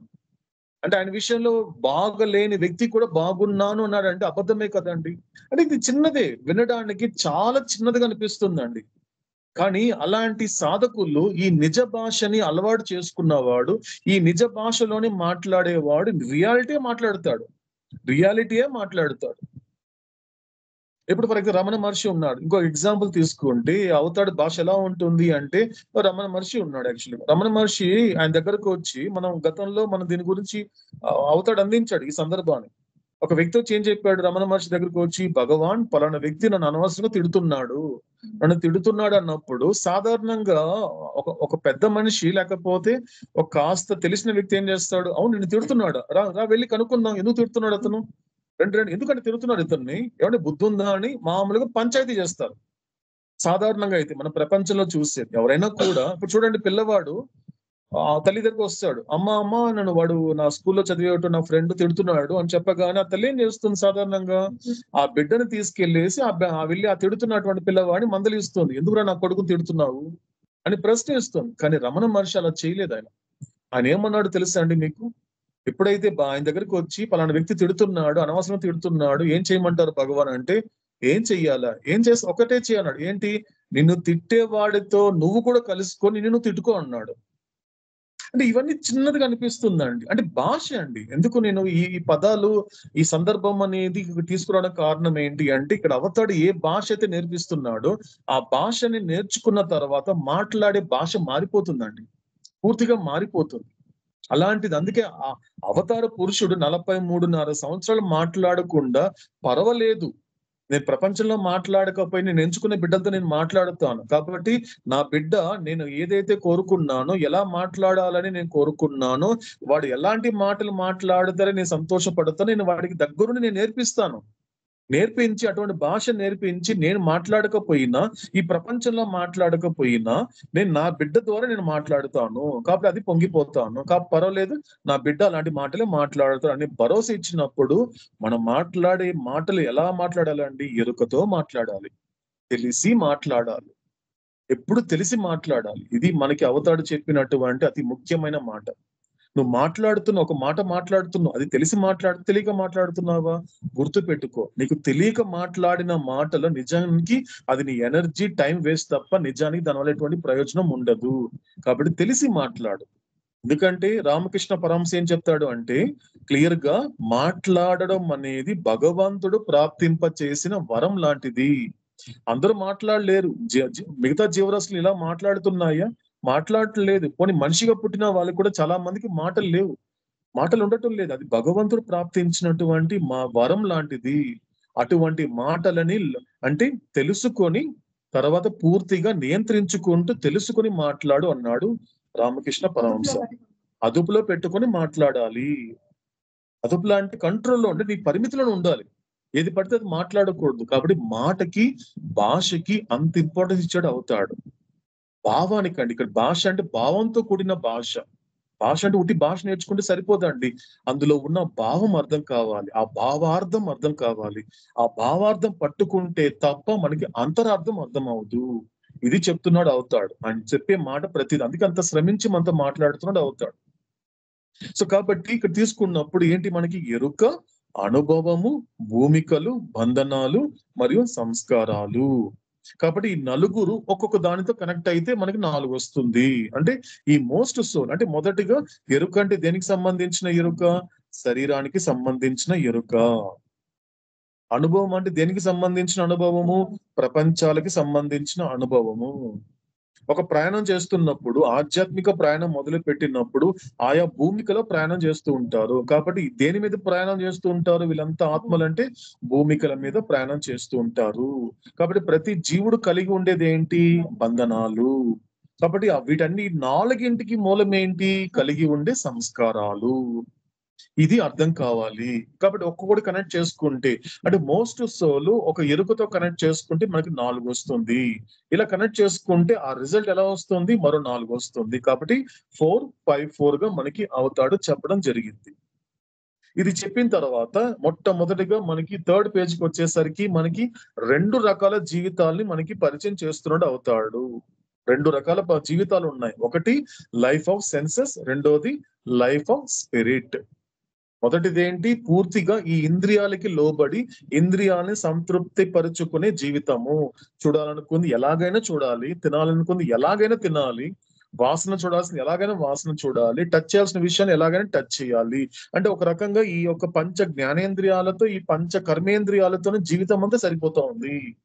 ఇక్కడ వీటిని సంతృప్తి పరచుకోవడం సరిపోతా ఉంది. ఇది కాదు జీవితం అంటున్నాడు అవుతాడు ఇంతకు ముందు చెప్పినట్లు ఈ ఇంద్రియాలకి లోబడి ఇంద్రియాన్ని సంతృప్తి పరుచుకునేటువంటి లైఫ్ ఆఫ్ సెన్సెస్తో ఉన్నంత వరకు నీ జీవితం అనేది మానవుడు మానవుడిగా ఉంటాడే తప్ప మాధవుడు అవడు కాబట్టి ఈ మానవుడు మాధవుడు కానంత వరకు పరిపూర్ణత అనేది ఇతడికి రాదు ప్రార్థించదు కాబట్టి ఏం చెయ్యాలి? వెంటనే మనకి ఆ యొక్క మూడో పేజీలో స్పష్టంగా చెప్పేస్తాడు అవుతాడు. ఏం చెయ్యాలి? ఈ లైఫ్ ఆఫ్ సెన్సెస్ని నువ్వు పరిత్యజించాలి. దేనికోసం పరిత్యజించాలి? ఆత్మ కోసము. నీ ఆత్మ కోసము. నువ్వెవరో ఏదైతే అయి ఉన్నావో దానికోసం దాన్ని నువ్వు అన్వేషించాలి దాన్ని నువ్వు కనుగొనాలి దాన్ని దాన్ని గుర్తించాలి నువ్వు దాన్ని గుర్తుంచుకోవాలి. కరెక్ట్గా అల్టిమేట్గా చెప్పాలి అంటే నువ్వు అటువంటి ఆత్మని నువ్వు సాక్షాత్కరింప చేసుకోవాలి అప్పుడే నీకు పరిపూర్ణత అనేది ప్రార్థిస్తుంది కాబట్టి అటువంటి ఆత్మని యొక్క జీవితం మొదలు పెట్టాలి అంటే అక్కడ ప్రారంభించాలి అంటే నువ్వు ఒకటి పరిత్యజించాల్సి వస్తుంది. అదే ఈ ఇంద్రియమైనటువంటి ఇంద్రియాలకి లోబడి ఇంద్రియాలని సంతృప్తి పరుచుకునేది ఆ జీవితాన్ని పరిత్యజించాలి. రెనౌన్సియేషన్ అంటే అదే. కాబట్టి ఆ రెనౌన్సియేషన్ కోసం నువ్వు ఎక్కడికి వెళ్ళాల్సిన అవసరం నువ్వు గడప కూడా దాటాల్సిన అవసరం లేదు. హ్యాపీగా ఇంట్లోనే అందరితో ఉంటూనే ఇది అంతర్గతంగా చేయాల్సిన విషయం. అంతర్గతంగా చేయాల్సిన విషయం. ఇదే అవతరాడు చెప్తున్నాడు. ఇదంతా కూడా అంతర్గతమైన పరిత్యాగమే తప్ప బాహ్య పరిత్యాగం వల్ల నీకు ఒక ఆవేశంగా తీసుకునే నిర్ణయమే తప్ప అది ఆలోచన లేదు. కాబట్టి అంతర్గతంగా పరిత్యాగం అంటే ఏంటి? ఈ ఇంద్రియ పరమైనటువంటి జీవితాన్ని పరిత్యజించి ఆత్మ కోసము జీవితాన్ని ప్రారంభించాలి. అదే మార్గము. అదే ఆధ్యాత్మిక మార్గము. కాబట్టి ఈ most some few very few లో బాబా ఏం చెప్పాడు మనకి? మోస్ట్ సోల్ అంతా కూడా లైఫ్ ఆఫ్ సెన్సెస్లో ఉండిపోతారు. సమ్ సోల్కి వచ్చేసరికి ఈ ఆత్మ యొక్క ప్రయాణం అనేది మొదలు పెడతారు. తర్వాత ఫ్యూకి వచ్చేసరికి వాళ్ళు ఆ ప్రయాణాన్ని కొనసాగిస్తారు. ఇది చాలా ఇంపార్టెంట్ అనే మాట. ఇంకొకసారి రిపీట్ చేసుకుందాం. అవతార పురుషుని అడిగి మళ్ళీ చెప్పించుకుందాం. ఏం చెప్తున్నాడు? ఎందుకు అవతారుడు? ఐఎమ్ ఐఎమ్ ఫర్ మోస్ట్ అని కాకుండా ఐఎమ్ ఫర్ సమ్ అని కాకుండా Meher Baba I am for few అనే మాట స్టేట్మెంట్ ఇవ్వడానికి వెనకున్న అంతరార్థం ఏంటి? మోస్ట్ ఆయన బిడ్డలు కాదా? సమ్ ఆయన బిడ్డలు కాదా? కానీ నా బిడ్డలు మాట వినని బిడ్డ అయినప్పటికీ కూడా ఆయన బిడ్డలే కదా? ఇప్పుడు నా బోటి వాడు మోస్ట్ సోల్గా ఉన్నప్పుడు మాట వినని బిడ్డగా ఉన్నప్పటికీ కూడా నేను ఆయన బిడ్డని కాదా? ఆయన ఎందుకు చెప్పలేదు ఆయన ఫర్ మోస్ట్ అని చెప్పలేదు? ఎందుకు బాబా ఆయన ఫర్ సమ్ అని చెప్పలేదు? ఎందుకు ఆయన ఫర్ ఫ్యూ ఎందుకు మాట అన్నాడంటే ఇందులో ఉన్న అంతరార్థం అనేది నాకు అర్థం అవుతున్నంత వరకు నేను మీతో పంచుకుంటాను. ఎందుకు అంటే నిజానికి ఈ ఈ యొక్క మోస్ట్ సోల్ అనేటువంటి వ్యక్తి ఈ ఇలాగే ఉండిపోతాడు కొంతకాలం. ఎందుకంటే అది తెలుసుకోనంత వరకు కళ్ళ మూతపడే ఉంటుంది. కాబట్టి ఎప్పుడైతే మొదలు పెడతాడో ప్రయాణం మొదలు పెట్టిన తర్వాత సంసోలుగా ఉన్నప్పుడు ప్రయాణం మొదలవుతుంది. అంతవరకు అక్కడ గుర్తు పెట్టుకోవాల్సింది ఎందుకంటే మనం ప్రయాణం మొదలు పెట్టినప్పుడు ఎందుకంటే ప్రయాణం మొదలు పెట్టడం అనేది మొదలు పెట్టిన తర్వాత ఆ గమ్యానికి చేరుకోవడానికి మధ్యలో ఒక ప్రక్రియ ఉందండి. ఇది చాలా మంది మర్చిపోతుంటారు అంటాడు అవుతాడు. కానీ నిజానికి మర్చిపోతారనే దానికన్నా సంస్కారాల యొక్క బలవంతమైన సంస్కారాల చేత ఈ మధ్యలో ఉన్న ఒక ప్రక్రియ మర్చిపోతాడు జీవుడు. సాధకుడు కూడా మర్చిపోతాడు. ఒక్కొక్కసారి బ్లాక్ అయిపోతాడు. మధ్యలో ఉండిపోతాడు. ఒక ఆధ్యాత్మికంగా పతనం అయిపోతూ ఉంటాడు అంటాడు అవుతాడు. ఏంటది? నువ్వు మార్గం ప్రారంభించడం అనేది ఎంత ఇంపార్టెంటో ఎందుకు ప్రారంభించావు? గమ్యం చేరాలి. కానీ మధ్యలో ఉన్న ప్రక్రియ ఏంటి అంటే కొనసాగించడము. ఇప్పుడు కంటిన్యూ చేయట్లేకపోతున్నాడు మధ్యలో ఆగిపోయి నేను గమ్యానికి చేరిపోయాను. నేను భగవంతుడు అయిపోయాను అనిపిస్తోంది ఈ యొక్క ఒకటి నుండి నాలుగు భూమికలలో. కాబట్టి అలా కంటిన్యూ చేసేవాడు అలా ఎరుకతో కాన్స్టాంట్గా కంటిన్యూస్గా చేసేవాడు ఎవరైనా ఉన్నారు అంటే అతడే ఫ్యూ సోల్ అందుకు Meher Baba I am for few అన్నాడు. అంతే తప్పించి ఇందులో పాక్షికంగా లేకపోతే అవతాడు ఏదో ఒక డిఫరెన్స్ అనేది మెహర్ బాబా చేయటం లేదనేది నా అభిప్రాయం. నాకున్నటువంటి అవగాహన. కాబట్టి యామ్ ఫర్ ఫ్యూ ఎందుకు చెప్పాడంటే వాళ్ళు మాత్రమే తమ ప్రయాణం అనేది ఇంకా పూర్తి అవ్వలేదు కొనసాగించాలి అనే ఎరుకలో ఫ్యూ సోర్స్ మాత్రమే ఉంటారు. కాబట్టి నువ్వు ప్రయాణం మొదలవడం అనేది కూడా ఎంత ఇంపార్టెంట్ కొనసాగిస్తే తప్ప నువ్వు గమ్యానికి చేరుకోవు. అందుకే మనకి అవతాడు ఎలా చెప్పాడండి మనకి? ఏ విధంగా మెహరోపాసనం జర్నీ చేయమన్నాడు మనల్ని? మూడు చెప్పాడు మనకి. ఏంటంటే ఆ మూడు? గుర్తుందండి?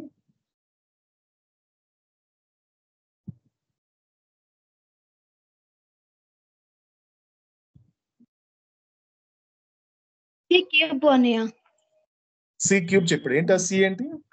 కాన్షియస్ కంటిన్యూస్లీ ఇంకోటి. కాన్షియస్.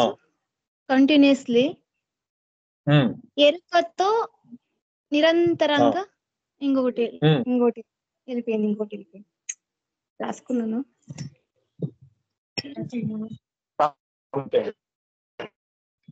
కాన్స్టాంట్ కాన్స్టాంట్గా నిత్యంగా. ఆ, Raghavendra um,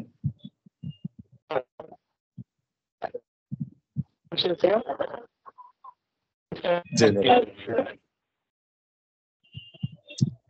So C cube C cube అంటే ఫస్ట్ ఇంపార్టెంట్ అందుకే రిపీట్ చేస్తున్నాం చూడండి. మనం ఆర్డర్ తప్పిపోతున్నాం. ఆర్డర్ తప్పిపోతున్నాం. కరెక్ట్గా చూడాలి చూడండి. ఎందుకంటే కాన్షియస్లీ సి క్యూబ్లో ఫస్ట్ కాన్షియస్లీ ఇది కొద్దిగా అందుకే అవుతాడు రిపీట్ చేస్తున్నాడు. అర్థమవుతుంది కదా మనకి? ఇక రెండో క్లాస్లో ఇప్పుడు నా పోటీ వాడిని రెండో క్లాస్లో ఎందుకు ఉంచాడు? పదో క్లాస్ దాకా చాలా మంది వెళ్ళిపోతూ ఉంటే రెండో క్లాస్ ఎందుకు పెట్టాడు అంటే ఇంకా నాకు ఈ పాటలు అర్థం కాలేదని అర్థం. అందుకే క్లాస్ దాటలేదు. కొంచెం ఆర్డర్లో గుర్తు పెట్టుకుందాం. ఫస్ట్ కాన్షియస్లీ సి క్యూబ్ ఎలా చేయాలి ఈ ప్రయాణము? ఈ యొక్క శ్రద్ధ ఎలా ఉండాలి? ఎరుకతో ఉండాలి. నెంబర్ వన్ ఫస్ట్ క్యాప్టెన్ అది. కాన్షియస్లీ ఎప్పుడైతే నువ్వు కాన్షియస్గా ఈ ప్రయాణం చేస్తున్నప్పుడు ఎరుకతో నువ్వు శ్రద్ధ పెడుతున్నప్పుడు దానికి వెంటనే వచ్చేది కాన్స్టాంట్లీ నిత్యంగా నిత్యంగా ఉంటుంది. అది నిత్యంగా ఉంటుంది. కాన్స్టాంట్ అంటే ఏంటంటే నిత్య సహచరుడు అంటాడు అవుతాడు. అంటే నిత్య సహచరుడితో ఎలా ప్రయాణం చేయాలి అంటే నువ్వు నిత్యంగా ఉండాలి. నువ్వు రెడీగా ఉండాలి. నువ్వు రెడీగా ఉంటేనే నా సహచరుతో నీకు దొరుకుతుంది అంటాడు అవుతాడు. అందుకే నువ్వు అందుకే నన్ను నీ నిత్య సహచరుడుగా మలుచుకో అన్నాడు అవుతాడు కాన్స్టెంట్ కంపానియన్ అని అవుతాడు సో కాన్స్టెంట్గా చేయాలి. ప్రపంచంలో ఉండదు కాన్స్టెంట్ అనేది ప్రపంచంలో మనకి కనబడదు. కాన్షియస్ కూడా మీకు ప్రపంచంలో కనబడదు. బాగా అబ్జర్వ్ చేస్తే. ఎందుకంటే ఇప్పుడు గుర్తున్నది తర్వాత గుర్తుండదు. ఇప్పుడు తెలిసింది మళ్ళీ తెలుసుకోదు. అందుకే అన్నాడు అన్నమయ్య అప్పటికప్పుడే నా చదువులు. నా చదువు ఎంత గొప్పది అంటే అప్పటికప్పుడు అంతే.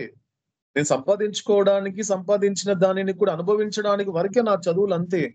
అంతే తప్ప ముందుకెళ్ళడానికి నా చదువులు పనికి రావటం లేదు. భగవంతుడా అని ఆవేదన చెందుతాడు అన్నమయ్య. అప్పటికప్పుడు ఆ చదువులు అంతే. కాబట్టి మొట్టమొదటిది కాన్షియస్లీ సి క్యూబ్ మూడు సీలు గుర్తుపెట్టుకోవాలి. గుప్పెట్లో ఉంచుకోవాలి ఆ మాటల్ని. మొట్టమొదటిది ఏంటంటే కాన్షియస్గా చేయాలి ప్రయాణము. నువ్వు పెట్టే శ్రద్ధ ఎలా ఉండాలి? ఒక ఎరుకతో ఉండాలి. పూర్తి ఎరుకతో ఉండాలి. ఎందుకంటే ఎరుకతో ఉంటేనే నీ కళ్ళు తెరుచుకుంటుంది వీలైనంత వరకు. అంటే నీ పూర్ నీ కళ్ళు పూర్తిగా తెరవబడాలి అంటే మొట్టమొదటిగా అప్పుడప్పుడు తెరిపిస్తాడు అవుతాడు. అది అప్పుడప్పుడు తెలుస్తుంది కాన్షియస్ వల్ల. అప్పుడప్పుడు తెలుస్తాడు. రెండోది ఏంటి కాన్స్టాంట్లీ మూడోది కంటిన్యూస్లీ ఇది అర్థం కావాలి. ఈ ఆర్డర్ గుర్తు పెట్టుకోవాలి ఫస్ట్ కాన్షియస్ ఎందుకంటే అది క్యాప్టెన్ అది. అదొక క్యాప్టెన్ ఈ సంస్కారాలు అనే అజ్ఞానం అనే క్యాప్టెన్ని దానితో ఫేస్ చేయాలి. దానితో ఒక రకంగా దానికి దానికి దాంతో తలపడాలి దాన్ని ఎదుర్కోవాలి అంటే నాకు కూడా నాకు ఒక క్యాప్టెన్ కావాలి. కాబట్టి నా జీవితంలో మెహర్ బాబా అపాయింట్ చేసినటువంటి ఒక క్యాప్టెన్ ఎవరు అంటే కాన్షియస్నెస్ నువ్వు కాన్షియస్గా ఉండు. నీ కాన్షియస్నెస్ అనేది ఎంత బలంగా ఉంటుందో సంస్కారం అంత బలహీనపడుతుంది. అది గుర్తు పెట్టుకో నువ్వు కాన్షియస్ ఎంత ఎంత ఎంత ఈజీగా మేల్కొన్నావంటే నీ ఇంట్లో దొంగలు పడే వాళ్ళు కూడా తగ్గుతారు. వీడేంటి లైట్లన్నీ వేసేసి అలా మేల్కో ఉన్నాడు తలుపులు తీసేస్తున్నాడు. వాడు మేల్కొంటే మనమే మన లోపలికి వెళ్ళి దొంగతనం ఏం చేస్తామని దొంగ కూడా వెనకడు చేస్తాడు అటు దొంగ ఏమైపోయాడు? బలహీన పడిపోయాడు. ఎప్పుడైతే ఇంటి యజమాని ఎరుకతో ఉన్నప్పుడు ఇంటి యజమాని నిత్యంగా ఉన్నప్పుడు ఇంటి యజమాని నిరంతరంగా ఉన్నప్పుడు నిరంతరంగా మేల్కొన్నాడు అంటే ఏ దొంగ వస్తాడండి ఆ ఇంట్లోకి? ఎవ్వరు ఏం అవసరం లేదు. ఇది మెహర్ బాబా చెప్పినటువంటి టాపిక్ కాబట్టి నువ్వు కాన్షియస్గా ఉన్నప్పుడు అజ్ఞానం అనే దొంగ ఎలా వస్తాడు రా లోపలికి? రాడు. కాబట్టి నువ్వు కాన్షియస్గా ఉండు. ప్రతిదాన్ని కాన్షియస్గా ఉండు. ఆ కాన్షియస్గా ఉంటేనే దేనికి స్పందించాలి దేనికి స్పందించకూడదు? ఏం ఆలోచించాలి ఏం ఆలోచించకూడదు? ఏ ఎటువంటి మాటలు మాట్లాడాలి ఎటువంటి మాటలు మాట్లాడకూడదు? ఎటువంటి పనులు చేయాలి ఎటువంటి పనులు చేయకూడదు అనేటువంటి కాన్షియస్లో నువ్వు ఉంటావు. కాబట్టి కాన్షియస్లీ ఇంపార్టెంట్ ఎందుకంటే దాన్ని వెంబడిస్తుంది దాన్ని పట్టుకొని తిరిగేది కాన్స్టాంట్. ఈ రెండింటిని పట్టుకుంటే తప్ప నీ జర్నీ కంటిన్యూ అవ్వదు కొనసాగించాలి. ఇంతవరకు ఏం చెప్పుకున్నాం? మనకి అవతాడు చెప్పిన మాట ఏంటి? ఎందుకు Meher Baba I am for few అనే మాటకి అంతరార్థం ఏంటి అంటే వాళ్ళు మాత్రమే కొనసాగిస్తారు. మొదలు పెట్టేస్తాడు సంస్థలు ఆ మొదలు పెట్టేస్తాడు. మొదలు పెట్టిన ప్రతి వాడు గమ్యానికి చేరుకోడు. బాగా గుర్తుంచుకోవాల్సినటువంటి విషయం. ఈ ప్రయాణము ఎంత గొప్పది అంటే అటువంటి ప్రమాదాలతో ముందు ముందు చాలా ఆకర్షణలు చాలా వ్యామోహాలు వచ్చి పడిపోతాయి. ఇన్ని జన్మలో రానటువంటి వ్యామోహాలు ఆ సంస్కారాలు సృష్టించేటువంటి సమస్యలు ఆ ఆ- ఆ యొక్క ముఖ్యంగా భ్రాంతి చూపించేటువంటి అందమైనవి అంద వికారమైనవి ఆకర్షణలు విపరీతంగా నేను డైవర్ట్ చేయడానికి ఎన్నో అవకాశాలు ఉంటాయి. ముఖ్యంగా ఒకటి నుంచి నాలుగు భూమికల మధ్య వాటిని సంస్థల్లో ఉంటారు వాళ్ళందరూ కూడా.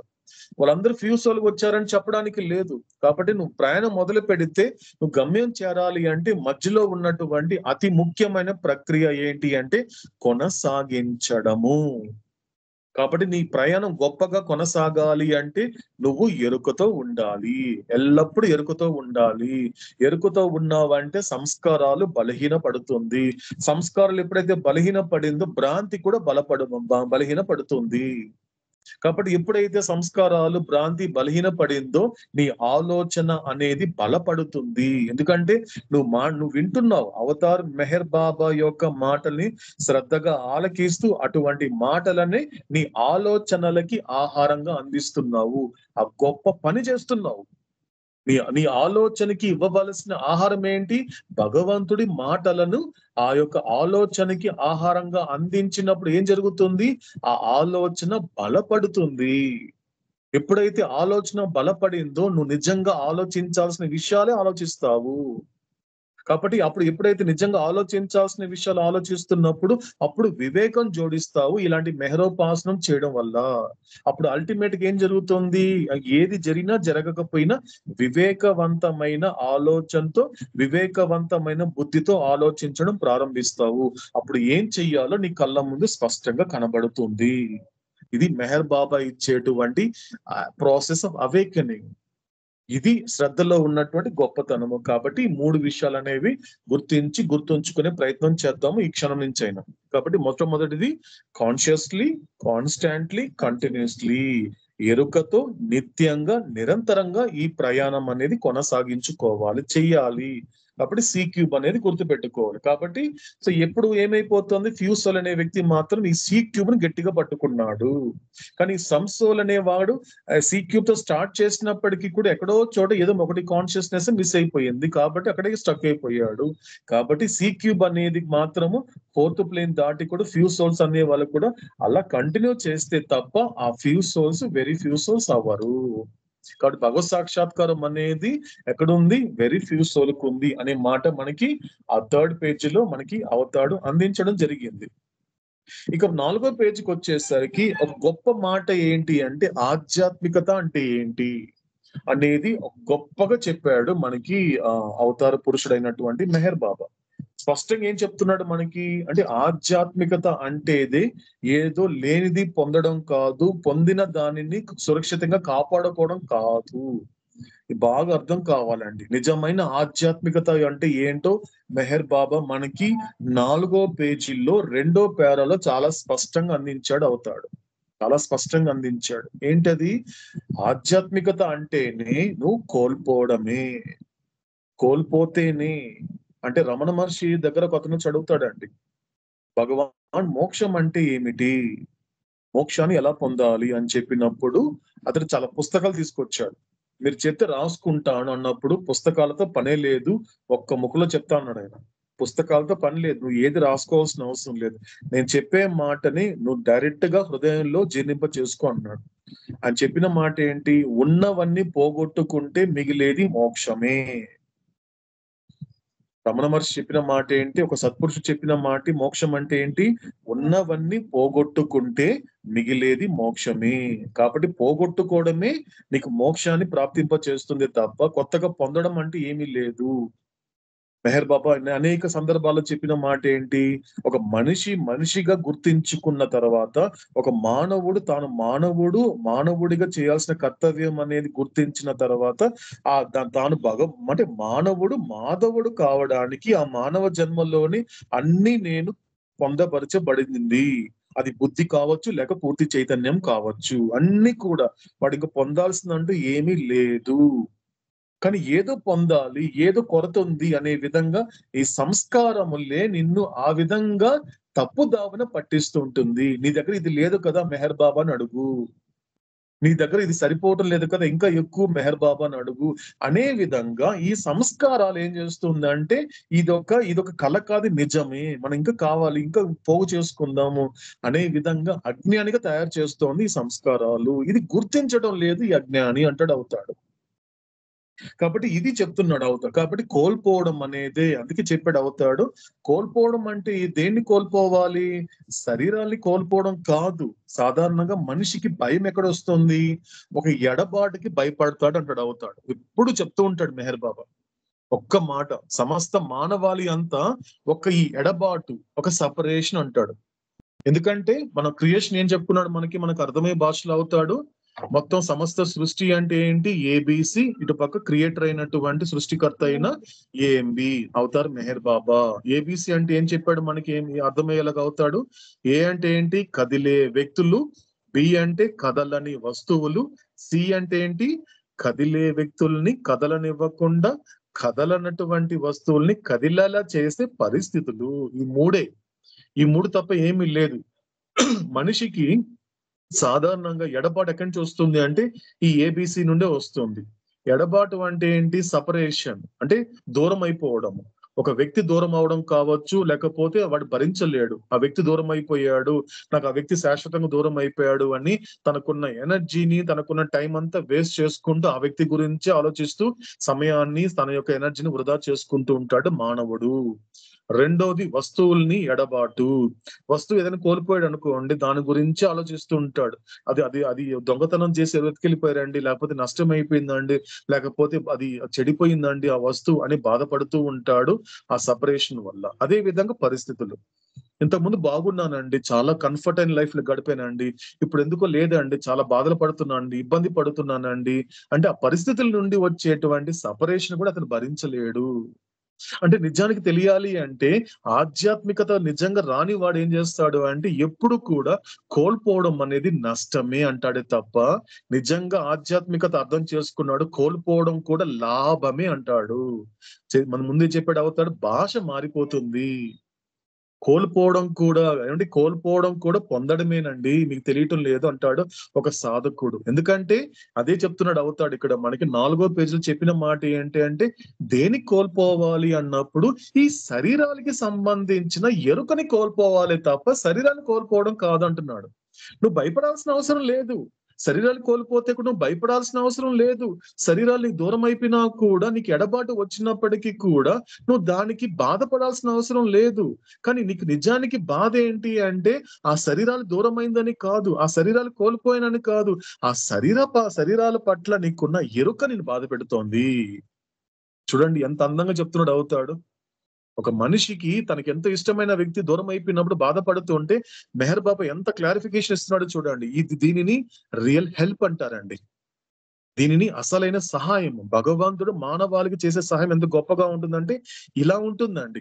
కానీ మిగతా ప్రపంచం ఏం చేస్తుంది అంటే ఉపశమనం ఇస్తుంది. ఒక తాత్కాలికమైన ఉపశమనం ఇస్తుంది. ఒక మనిషిని కోల్పోయిన తర్వాత ఆ మనిషి పక్కన కూర్చొని ఎటువంటి మాటలు మాట్లాడతారు? అంటే మామూలుగా ఉపశమనం ఇస్తుంది. అది నిజం కాదు. అది తాత్కాలికమైన ఉపశమనం. కానీ ఇక్కడ అవతారుడు నిజమైన సహాయం చేస్తున్నాడు. నిజమైన సహాయం చేస్తున్నాడు. రియల్ హెల్ప్ అంటాడు బాబా. ఇట్ ఇస్ ఇస్ ఒక పర్మనెంట్ హెల్ప్ అంటాడు. కాబట్టి నీకు అది కోల్పోయిన తర్వాత నువ్వు కోల్పోయింది ఆ శరీరాలు కోల్పోవడం వలన ఆ శరీరాల నుండి ఎడబాటు వలన నీకు దుఃఖం రావట్లేదు. కానీ ఆ శరీరాల పట్ల ఉన్న ఎరుక ఏదైతే ఉందో అది నిన్ను బాధ పెడుతోంది. ఇది గుర్తించరా అంటున్నాడు అవతారుడు. కాబట్టి వాటికి సంబంధించిన ఎరుక అంతే.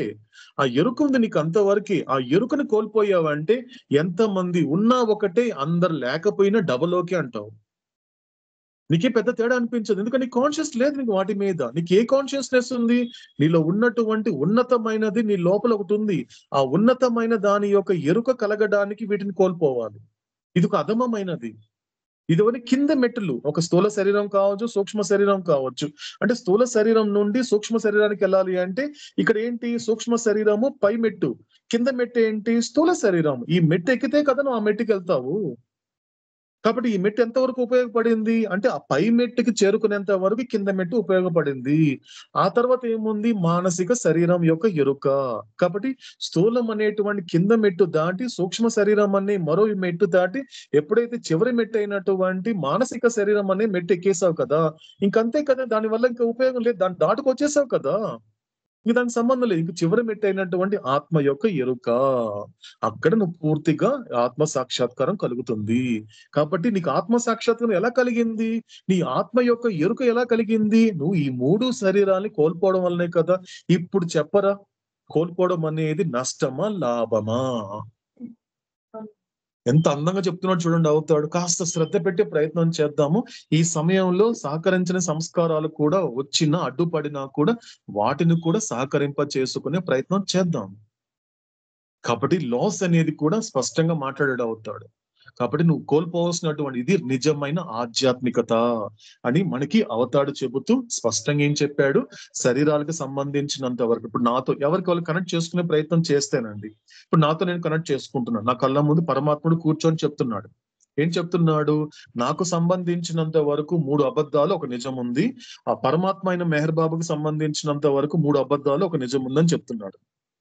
మొదట నా వైపు తిరుగుతున్నాడు. నా వైపు తిరిగి అని చెప్తున్నాడు? "ఓ హరిప్రసాద్ నీ- నీలో కూడా మూడు అబద్ధాలునే ఒక నిజం ఉంది.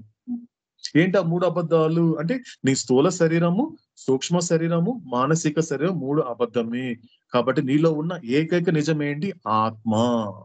అదే నీ యొక్క నిజమైన అస్తిత్వము. ఆ నిజమైన అస్థి నీ ఆత్మ ఏదైతే ఉందో దానిని నేను సెవెన్ రియాలిటీస్లో ఫస్ట్ పాయింట్గా పెట్టాను. అదే రియల్ ఎగ్జిస్టెన్స్. కాబట్టి నీ రియల్ ఎగ్జిస్టెన్స్ ఏంటి? నీ శరీరాలు కాదు నీ యొక్క ఆత్మ. ఇవన్నీ కూడా ఫాల్స్ ఇవన్నీ అబద్ధాలే. కాబట్టి అబద్ధాలు కాబట్టి ఇంకొక భాషలో నీకు అర్థమయ్యే భాషలో చెప్తాను. నీ నీడలు షాడోస్ అని అందంగా చెప్పాడు అవుతాడు. నీ ఆ నీడలే. నీ నీడలే. నీ ఆ నీడలు ఎలా వచ్చింది? ఇప్పుడు కూడా నువ్వు నీ కళ్ళ ముందు ఒక చేతిని అలా కదిలిస్తే నీకు నీడ కనిపిస్తోంది. నీ నీడకి నువ్వు ఇంపార్టెన్స్ ఇస్తావా? ఎందుకు నా నీడ అలా కదలటం లేదు? నా నీడేంటి అలా ఉందని ఎప్పుడైనా బాధపడ్డావా? బాధపడలేదే. అదే విధంగా ఆధ్యాత్మిక ఎదుగుతున్నప్పుడు ఈ స్థూల శరీరం గురించి సూక్ష్మ శరీరం గురించి మానసిక శరీరం గురించి నువ్వు ఎక్కువ కేర్ తీసుకో. ఎందుకంటే అవన్నీ నీడలే. వీటిని దాటుకొని నా దగ్గరికి నేను చేరుకోవాలి. నా ఆత్మని తెలుసుకోవాలి అనేటువంటి అక్కడ లాభం పొందావు కదా? ఈ మూడు శరీరాలని కోల్పోవడం వల్ల లాభం పొందావా లేవా? ఆధ్యాత్మికంగా. వీళ్ళు అండర్లైన్ చేసుకోవాలి. మన గుండెల్లో పదిలంగా గుండెల్లో అండలైన్ చేసుకోవాల్సిన విషయం ఏంటంటే ఆధ్యాత్మికమైన ప్రయోజనము. భౌతికంగా తీసుకుంటే నష్టమే. ఒక ఒకటి దూరం అయిపోయింది అంటే దూరం అయినట్లే. అది నష్టమే. భౌతికంగా తీసుకుంటే. కానీ ఆధ్యాత్మికంగా ఒక నిజమైన ఆధ్యాత్మిక గురించి అవతాడు చెబుతున్నప్పుడు దీనిని ఈ దృష్టి కోణంలో ఈ కోణంలో చూసే ప్రయత్నం చేయమన్నాడు అవుతాడు. కాబట్టి నాకు సంబంధించినంత వరకు మూడు అబద్ధాలు ఏంటంటే ఈ నీడలైనటువంటి ఈ మూడు శరీరాలు. కాబట్టి అంటే ఏం చెప్తున్నాడు? నా ఆత్మ యొక్క నా నిజం యొక్క నీడలే ఈ మూడు అబద్ధాలు. కాబట్టి నా ఆత్మ యొక్క నీడలే ఈ మూడు శరీరాలు. అదే విధంగా ప్రపంచాలు కూడా. ఎందుకు ఈ రెండిటి గురించి ఎందుకు మాట్లాడాలి అవుతాడంటే కేవలం చూడండి ఆయన యొక్క ప్రేమ ఆయన యొక్క దయ ఆయన యొక్క అనుగ్రహం అనేది ఎంత గొప్పగా ఉంటుంది అంటే మళ్ళీ మనకు అర్థమయ్యే భాషలోనే చెప్తున్నాడు. నీకు తెలిసిన భాషలోనే చెప్తున్నాడు. నీకు తెలిసింది ఏంటి ఆధ్యాత్మిక తెలియకపోయినా మెహర్ బాబా అంటే ఎవరో తెలియకపోయినా నీకున్నటువంటి నిజాలు తెలియకపోయినా నీకు తెలిసింది ఏంటి మామూలు ఒక మనిషికి తెలిసింది ఏంటి సాధారణంగా? ఒకటి శరీరము రెండు ప్రపంచము. ఇప్పుడు నిద్ర లేచారు అనుకోండి ఈ రోజు ఉదయంతో నిద్ర లేచారు మీరు అందరు లేచారు. లేచిన తర్వాత ఇప్పుడు ఎవరి దగ్గరైనా వచ్చి ఒక తల్లో తండ్రో భార్యో బిడ్డ వచ్చి ఏదో ఇది నీ శరీరము అని ఎవరైనా మన ఇంట్రొడ్యూస్ చేశారండి గుర్తు చేస్తున్నారా? ఇప్పుడు నా దగ్గరకు వచ్చి నా తల్లి నా దగ్గరకు వచ్చి హరి ఇది నీ శరీరం రా ఇది? ఇది నీ స్థూల శరీరం అని నాకు గుర్తు చేయాల్సిన అవసరం నాకు లేదండి. ఒక- స్పృహ ఉన్నంత వరకు నాకు తెలుస్తోంది. ఇది నా శరీరము. హరిప్రసాద్ అనేవాడు ఈ శరీరం తెలుస్తోంది. అదే విధంగా నా తల్లి నాకు దగ్గరకు వచ్చి ఇది ఇది స్థూల ప్రపంచం రా కనిపిస్తోంది నీకు ఇదే ప్రపంచం అని చెప్పాల్సిన అవసరం లేదండి. తెలుస్తోంది.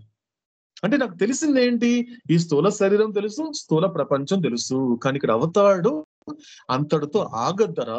ఇంతకు మించిన గొప్ప విషయాలు ఉన్నాయి ఆ గొప్ప విషయాలు చెప్పడానికి నువ్వు అర్హత సాధించావు కాబట్టి కాబట్టే మిమ్మల్ని మీ అందరి ఆత్మలే నా దగ్గర కూర్చోపెట్టి ఆ గొప్ప విషయాలు చెప్పే ప్రయత్నం చేస్తున్నాను. అలా చెబుతూ ఇది కూడా చెప్తున్నాడు అవుతాడు. కాబట్టి నీ శరీరం సమ్మ ఇది దీని వరకే కదా నీకు తెలుసు. కాబట్టి దీని మించిన గొప్ప విషయాలు ఉన్నాయో చెప్తానని కూర్చోపెట్టాడు. కాబట్టి శరీరాలకు సంబంధించినంత వరకు ఈ మూడు నిజ అబద్ధాలు ఒకటే నిజము. అదే విధంగా పరమాత్మకు సంబంధించినంత వరకు నా కళ్ళ ముందు కనిపించేటువంటి ప్రపంచం ఏదైతే కనబడుతోందో అది స్థూల ప్రపంచం కావచ్చు ఆ స్థూల ప్రపంచానికి అతీతమైన సూక్ష్మ ప్రపంచం కావచ్చు సూక్ష్మ ప్రపంచానికి అతీతమైన మానసిక ప్రపంచం కావచ్చు. ఈ మూడు కూడా పరమాత్మకి సంబంధించినంత వరకు అబద్ధాలే. ఈ మూడు అబద్ధాలు. కాబట్టి ఆయనలో ఉన్నటువంటి పరమాత్మలో ఉన్న నిజమేంటి? పరమాత్మ తత్వం. కాబట్టి ఆ పరమాత్మ యొక్క నీడలే ఈ మూడు ప్రపంచాలు. ఈ యొక్క నా ఆత్మ యొక్క నీడలే ఈ మూడు శరీరాలు అని క్లారిటీ ఇచ్చాడు అవుతాడు. ఇప్పుడు చెప్పు ఈ నీడ గురించి ఎంతగా ఆలోచిస్తున్నావు రోజులో నువ్వు? నీ స్థూల శరీరం గురించి ఈ స్థూల ప్రపంచం గురించి నీడని చెప్పాను కదా. నీడని చెప్పినా కూడా దానికి అంత ఇంపార్టెన్స్ ఇస్తావా? ఏముంది? నీడే కదా చెప్తున్నాను కదా. ఏమీ లేదు కదా తెలుస్తుంది కదా. కాబట్టి ఎందుకు ఇచ్చాను? ఈ స్థూల శరీరం ఎందుకు ఇచ్చాను? ఈ స్థూల ప్రపంచంలో ఎందుకు వచ్చాను అంటే గుర్తు పెట్టుకో మళ్ళీ రిపీట్ చేసుకుందాము. మనకి గతంలో జీసస్ చెప్పిన మాట. జీసస్ ఏం చెప్పాడండి ప్రపంచం గురించి? ఒకసారి గుర్తు చేసుకుని గుర్తిందాం ఒకసారి జీసస్ ఏం చెప్పాడండి ఈ ప్రపంచం గురించి?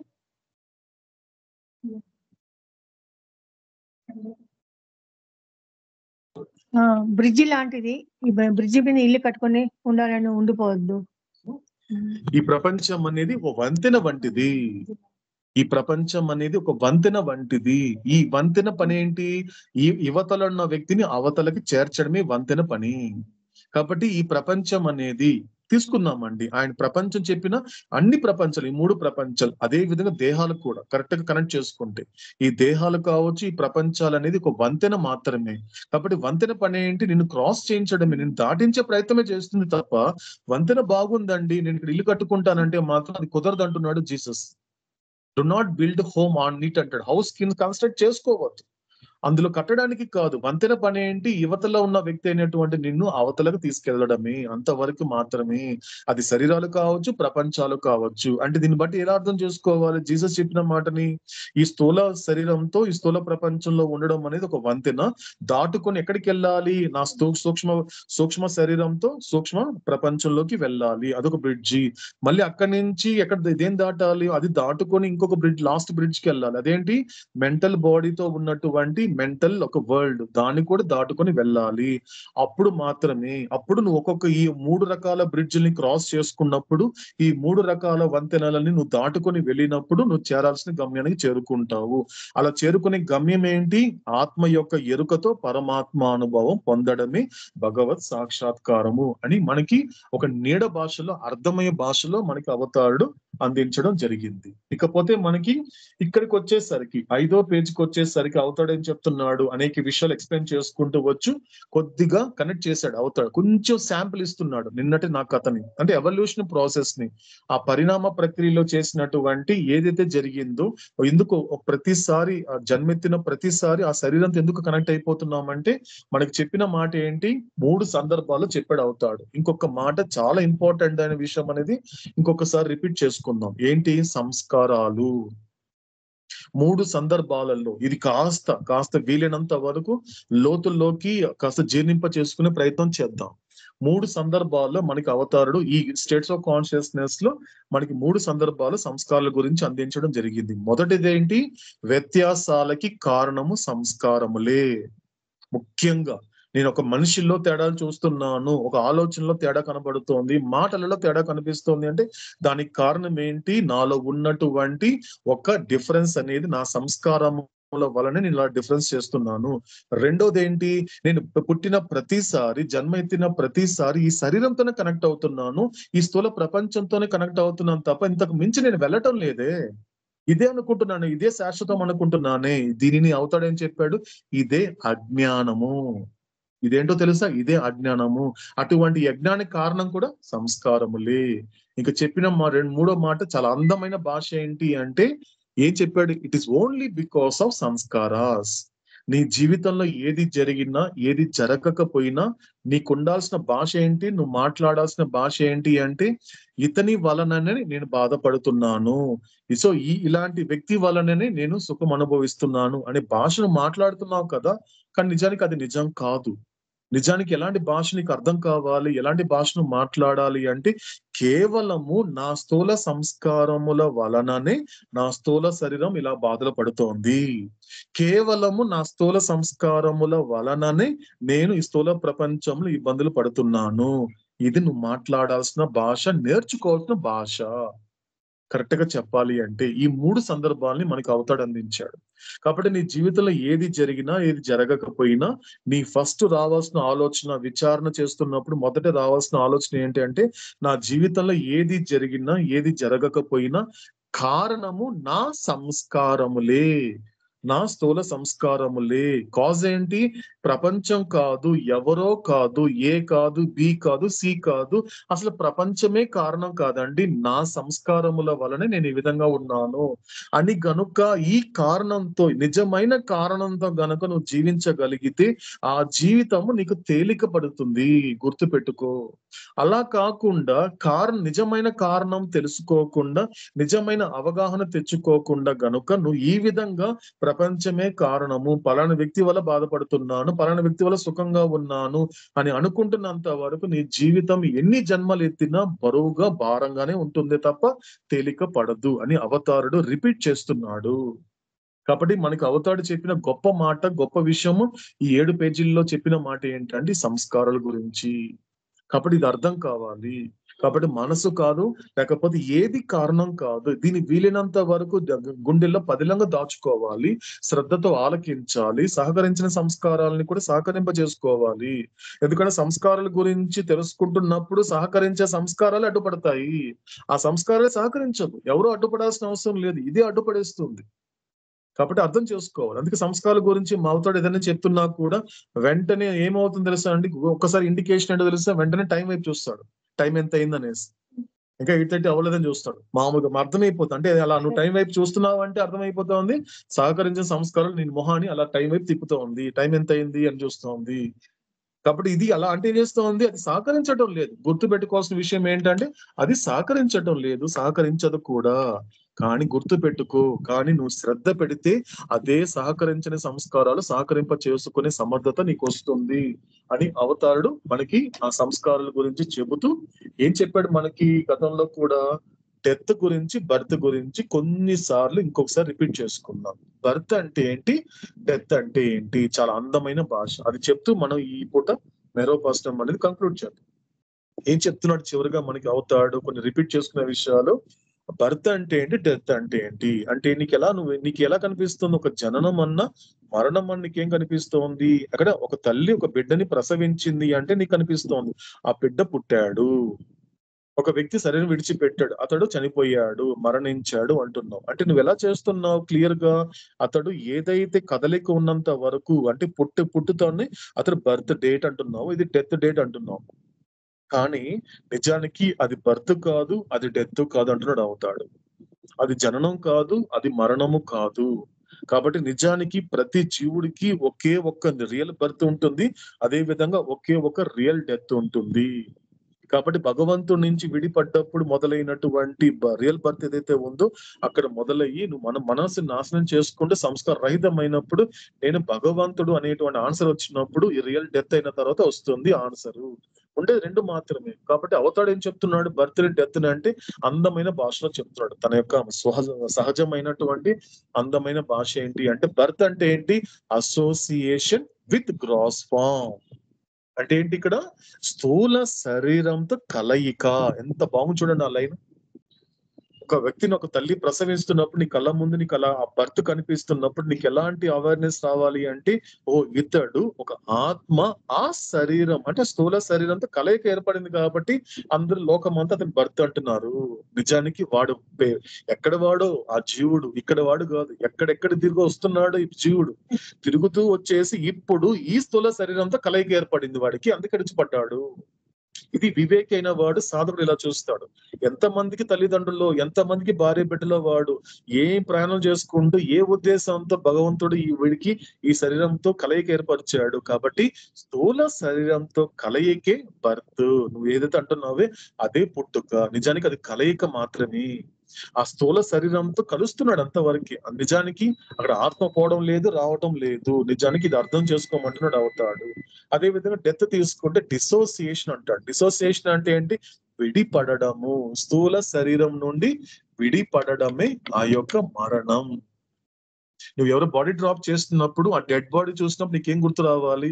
ఇంతవరకు ఎక్కడెక్కడో తిరిగినటువంటి జీవుడు ఈ శరీరాన్ని ఎంచుకొని తాను అనుభవించాల్సినటువంటి ప్రారంధాన్ని పూర్తి చేసుకున్న తర్వాత ఈ శరీరం నుండి విడిపడ్డాడు. విడిపడి ఆ ఆత్మ అనేవాడు తన ప్రయాణాన్ని కొనసాగించుకుంటూ ఎక్కడికి వెళ్ళిపోయాడు. అంతే దట్స్ ఇట్ దీంట్లో బాధపడడానికి ఏముంది? ఇది ఒక సాధకుడు ఇలా చూస్తాడు బర్త్ని డెత్ని. కాబట్టి అందంగా చెప్పిన మాట ఏంటి అంటే ఒకటి బర్త్ రెండోది డెత్ అంటే ఏంటి? Association dissociation. కాబట్టి ఇంతవరకు మనకి కొంత వారాలుగా కొన్ని వారాలుగా జరిగేటువంటి విషయాన్ని ఇంకోసారి రిపీట్ చేసుకున్నాం కాబట్టి సో అవుతాడు మిగతా విషయాలు ఏదైతే ఉన్నా మన తర్వాత మెహర్ మెహరోపాసన తెలుసుకునే ప్రయత్నం చేద్దామండి. Eternal beloved avatar Meher Baba key జై.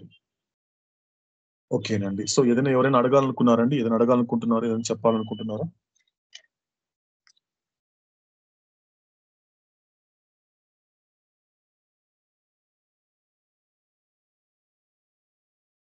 ఓకేనండి. సో ఏం క్లారిఫికేషన్స్ లేనప్పుడు మూడు స్థూల సూక్ష్మ మానసిక శరీరం నీడలు బాబా చెప్పారు ఇది నీ నీడలో నీ ఆత్మకు నీడలో.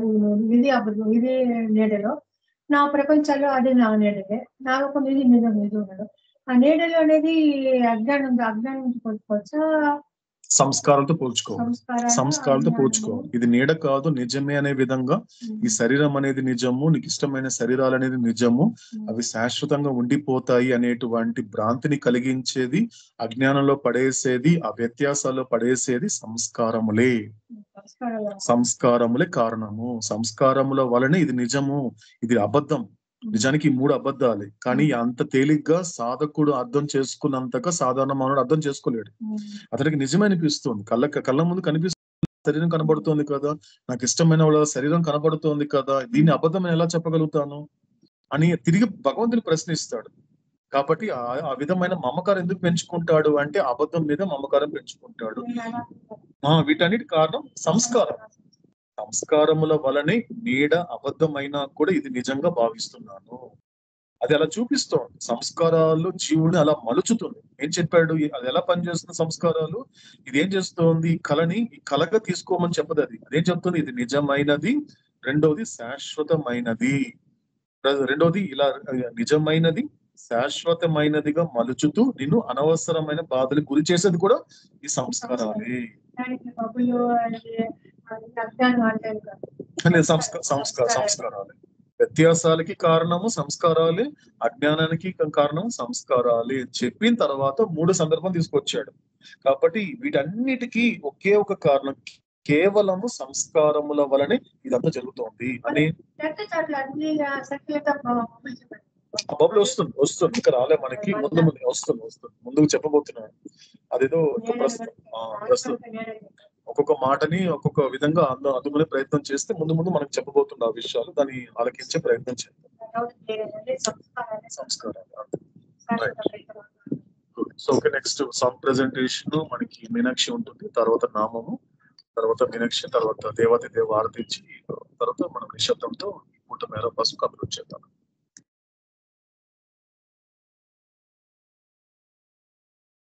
శాశ్వత ప్రియతమ అవతార్ మెహర్ బాబాకి జై.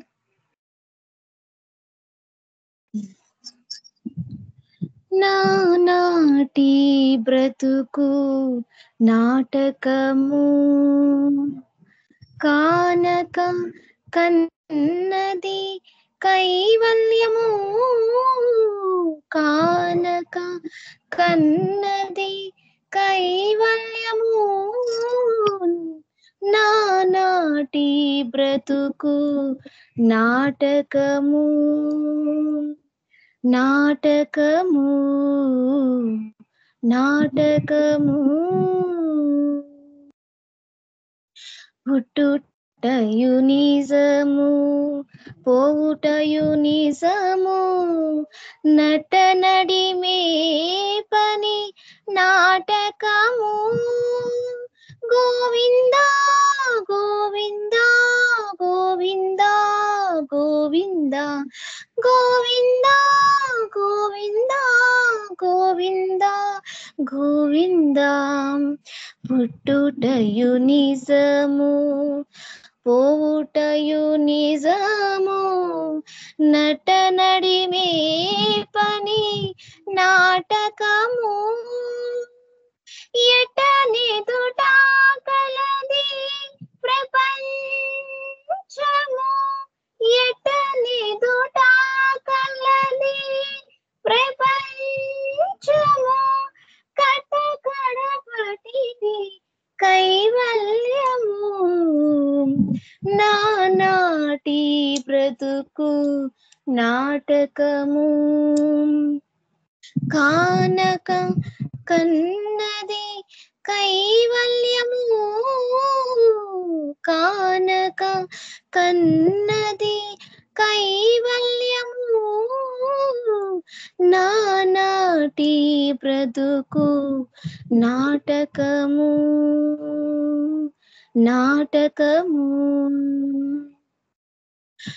తెగదు పాపము తీరదు పుణ్యము నగి నగి కాలము నాటకము తెగదు పాపము తీరదు పుణ్యము నగి నగి కాలము నాటకము ఎగువలి శ్రీ వెంకటేశ్వరుడే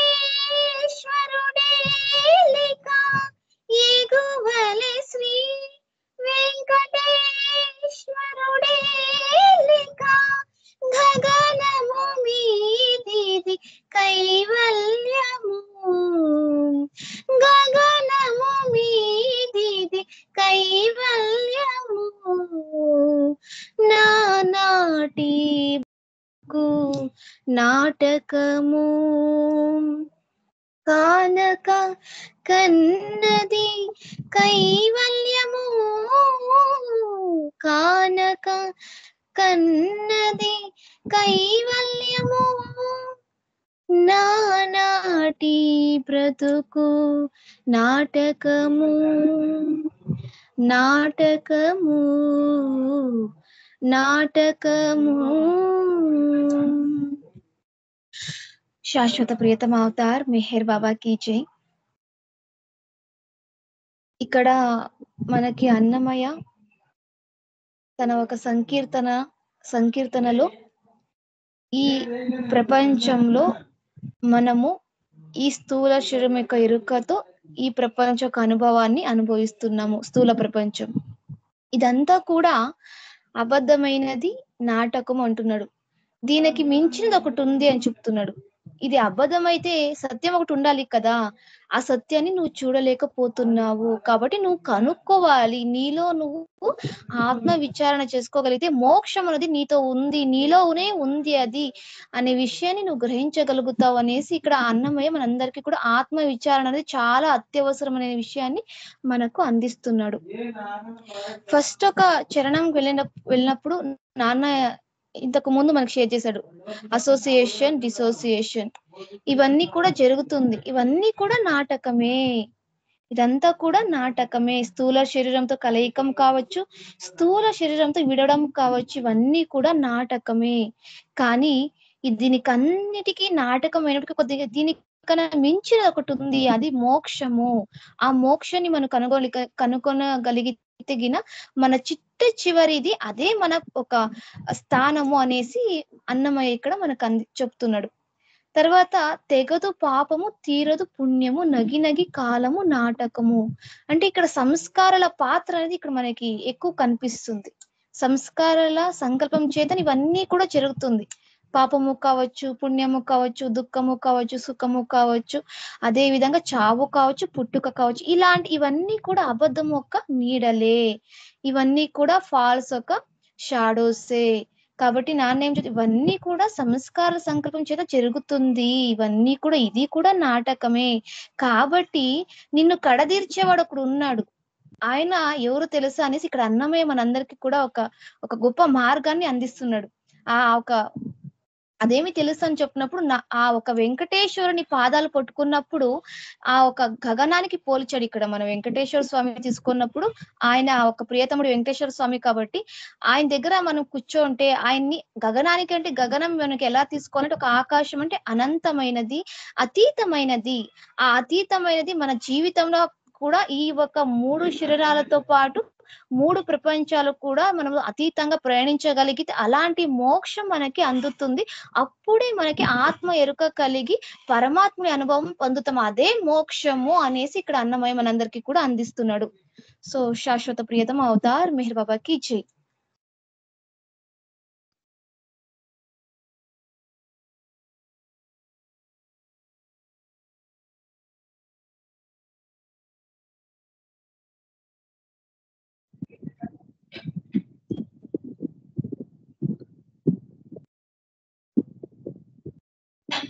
सैशदम अवतार मेहर बाबा की जय।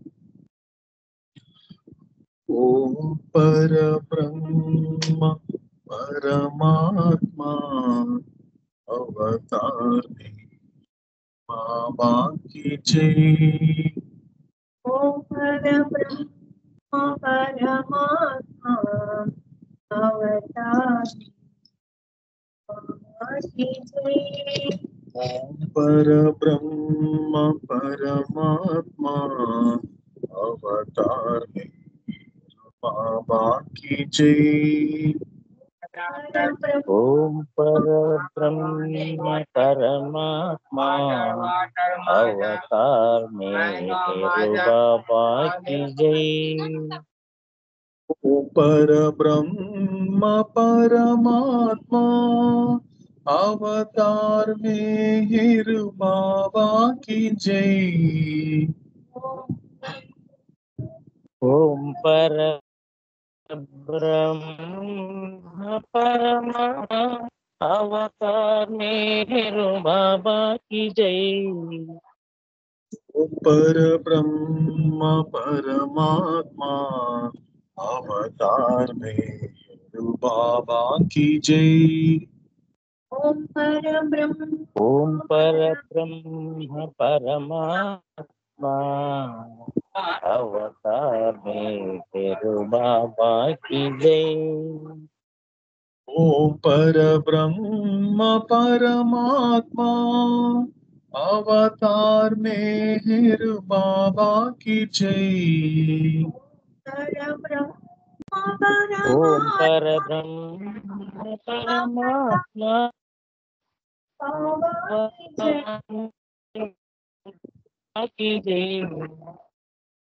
Parabrahma Paramatma Avatar Deya Ki Jai Parabrahma Paramatma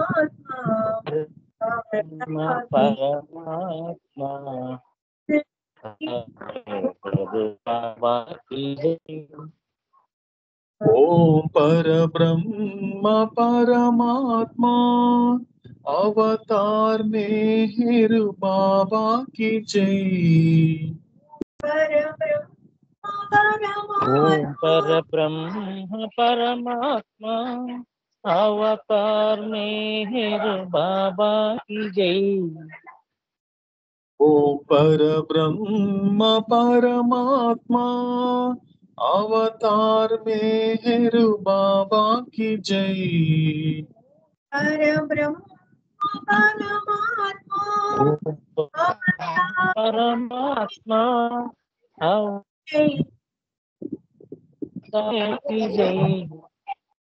ओम पर ब्रह्म परमात्मा अवतार में बाबा की जय।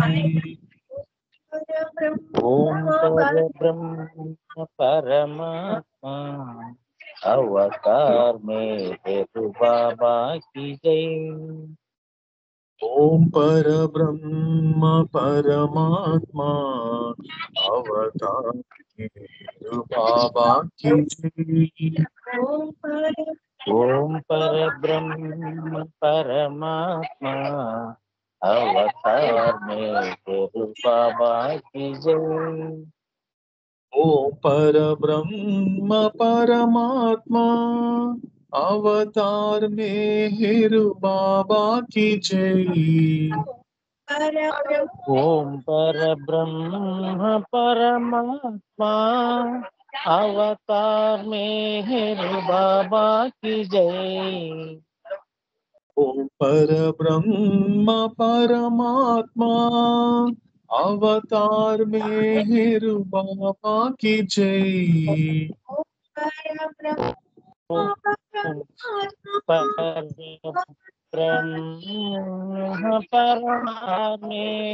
बाबा की जय।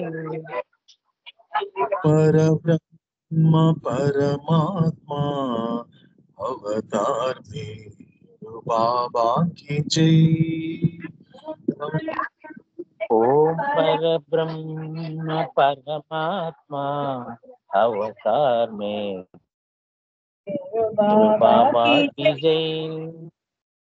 पर ब्रह्म परमात्मा अवतार गुरु बाबा की जय। ओम पर ब्रह्म परमात्मा अवतार में गुरु बाबा की जय ओम पर ब्रह्म परमात्मा अवतार में गुरु बाबा की जय ओम पर ब्रह्म परमात्मा अवतार में गुरु बाबा की जय अश्वतम प्रियतम अवतार मेहर बाबा की जय।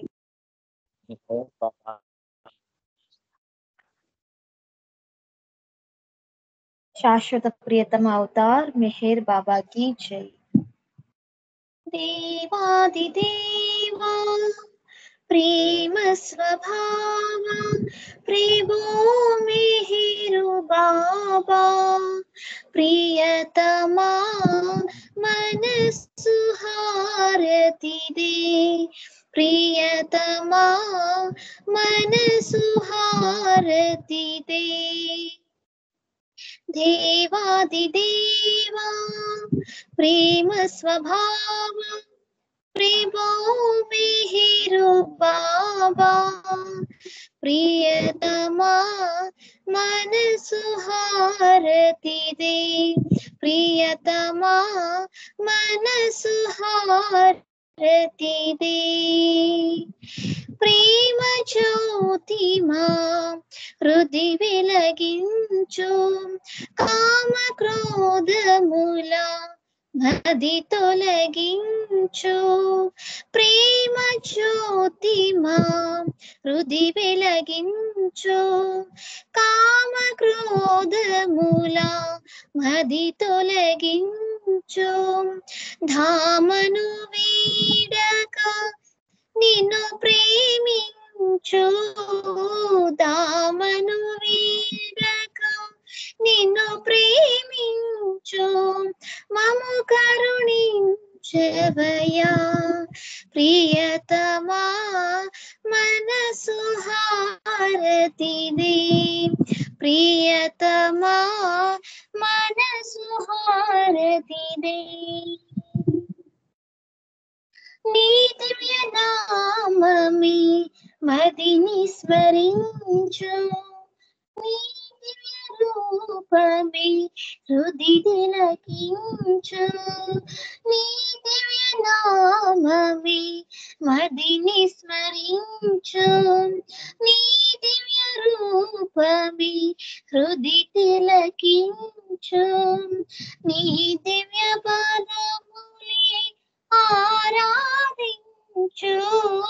నీ దివ్య పాదములే ఆరాధించు మము కరుణించవయా ప్రియతమా మనసు హారతిదే ప్రియతమా మనసు హారతిదే అహంకారము హారతి కాగా అహంకారము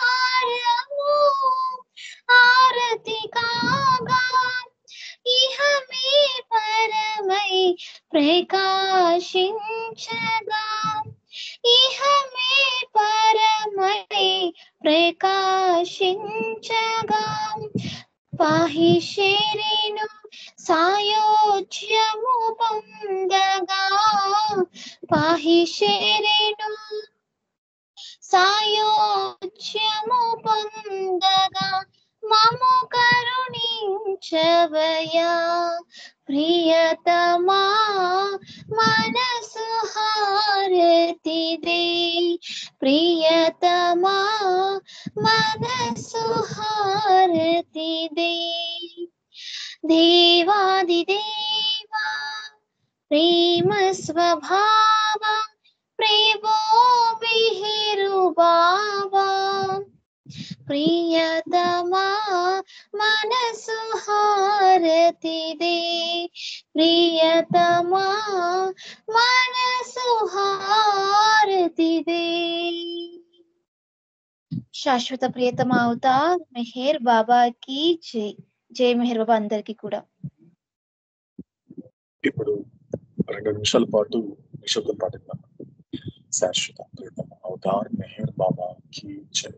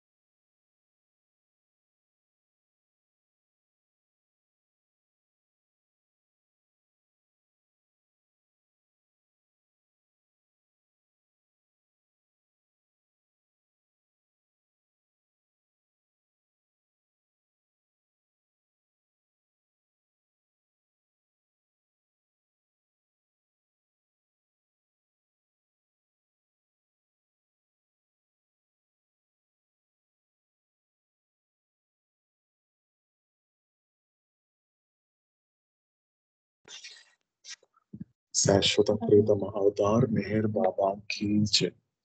ఇది అండి ఇప్పటి మెహరోపాసనము.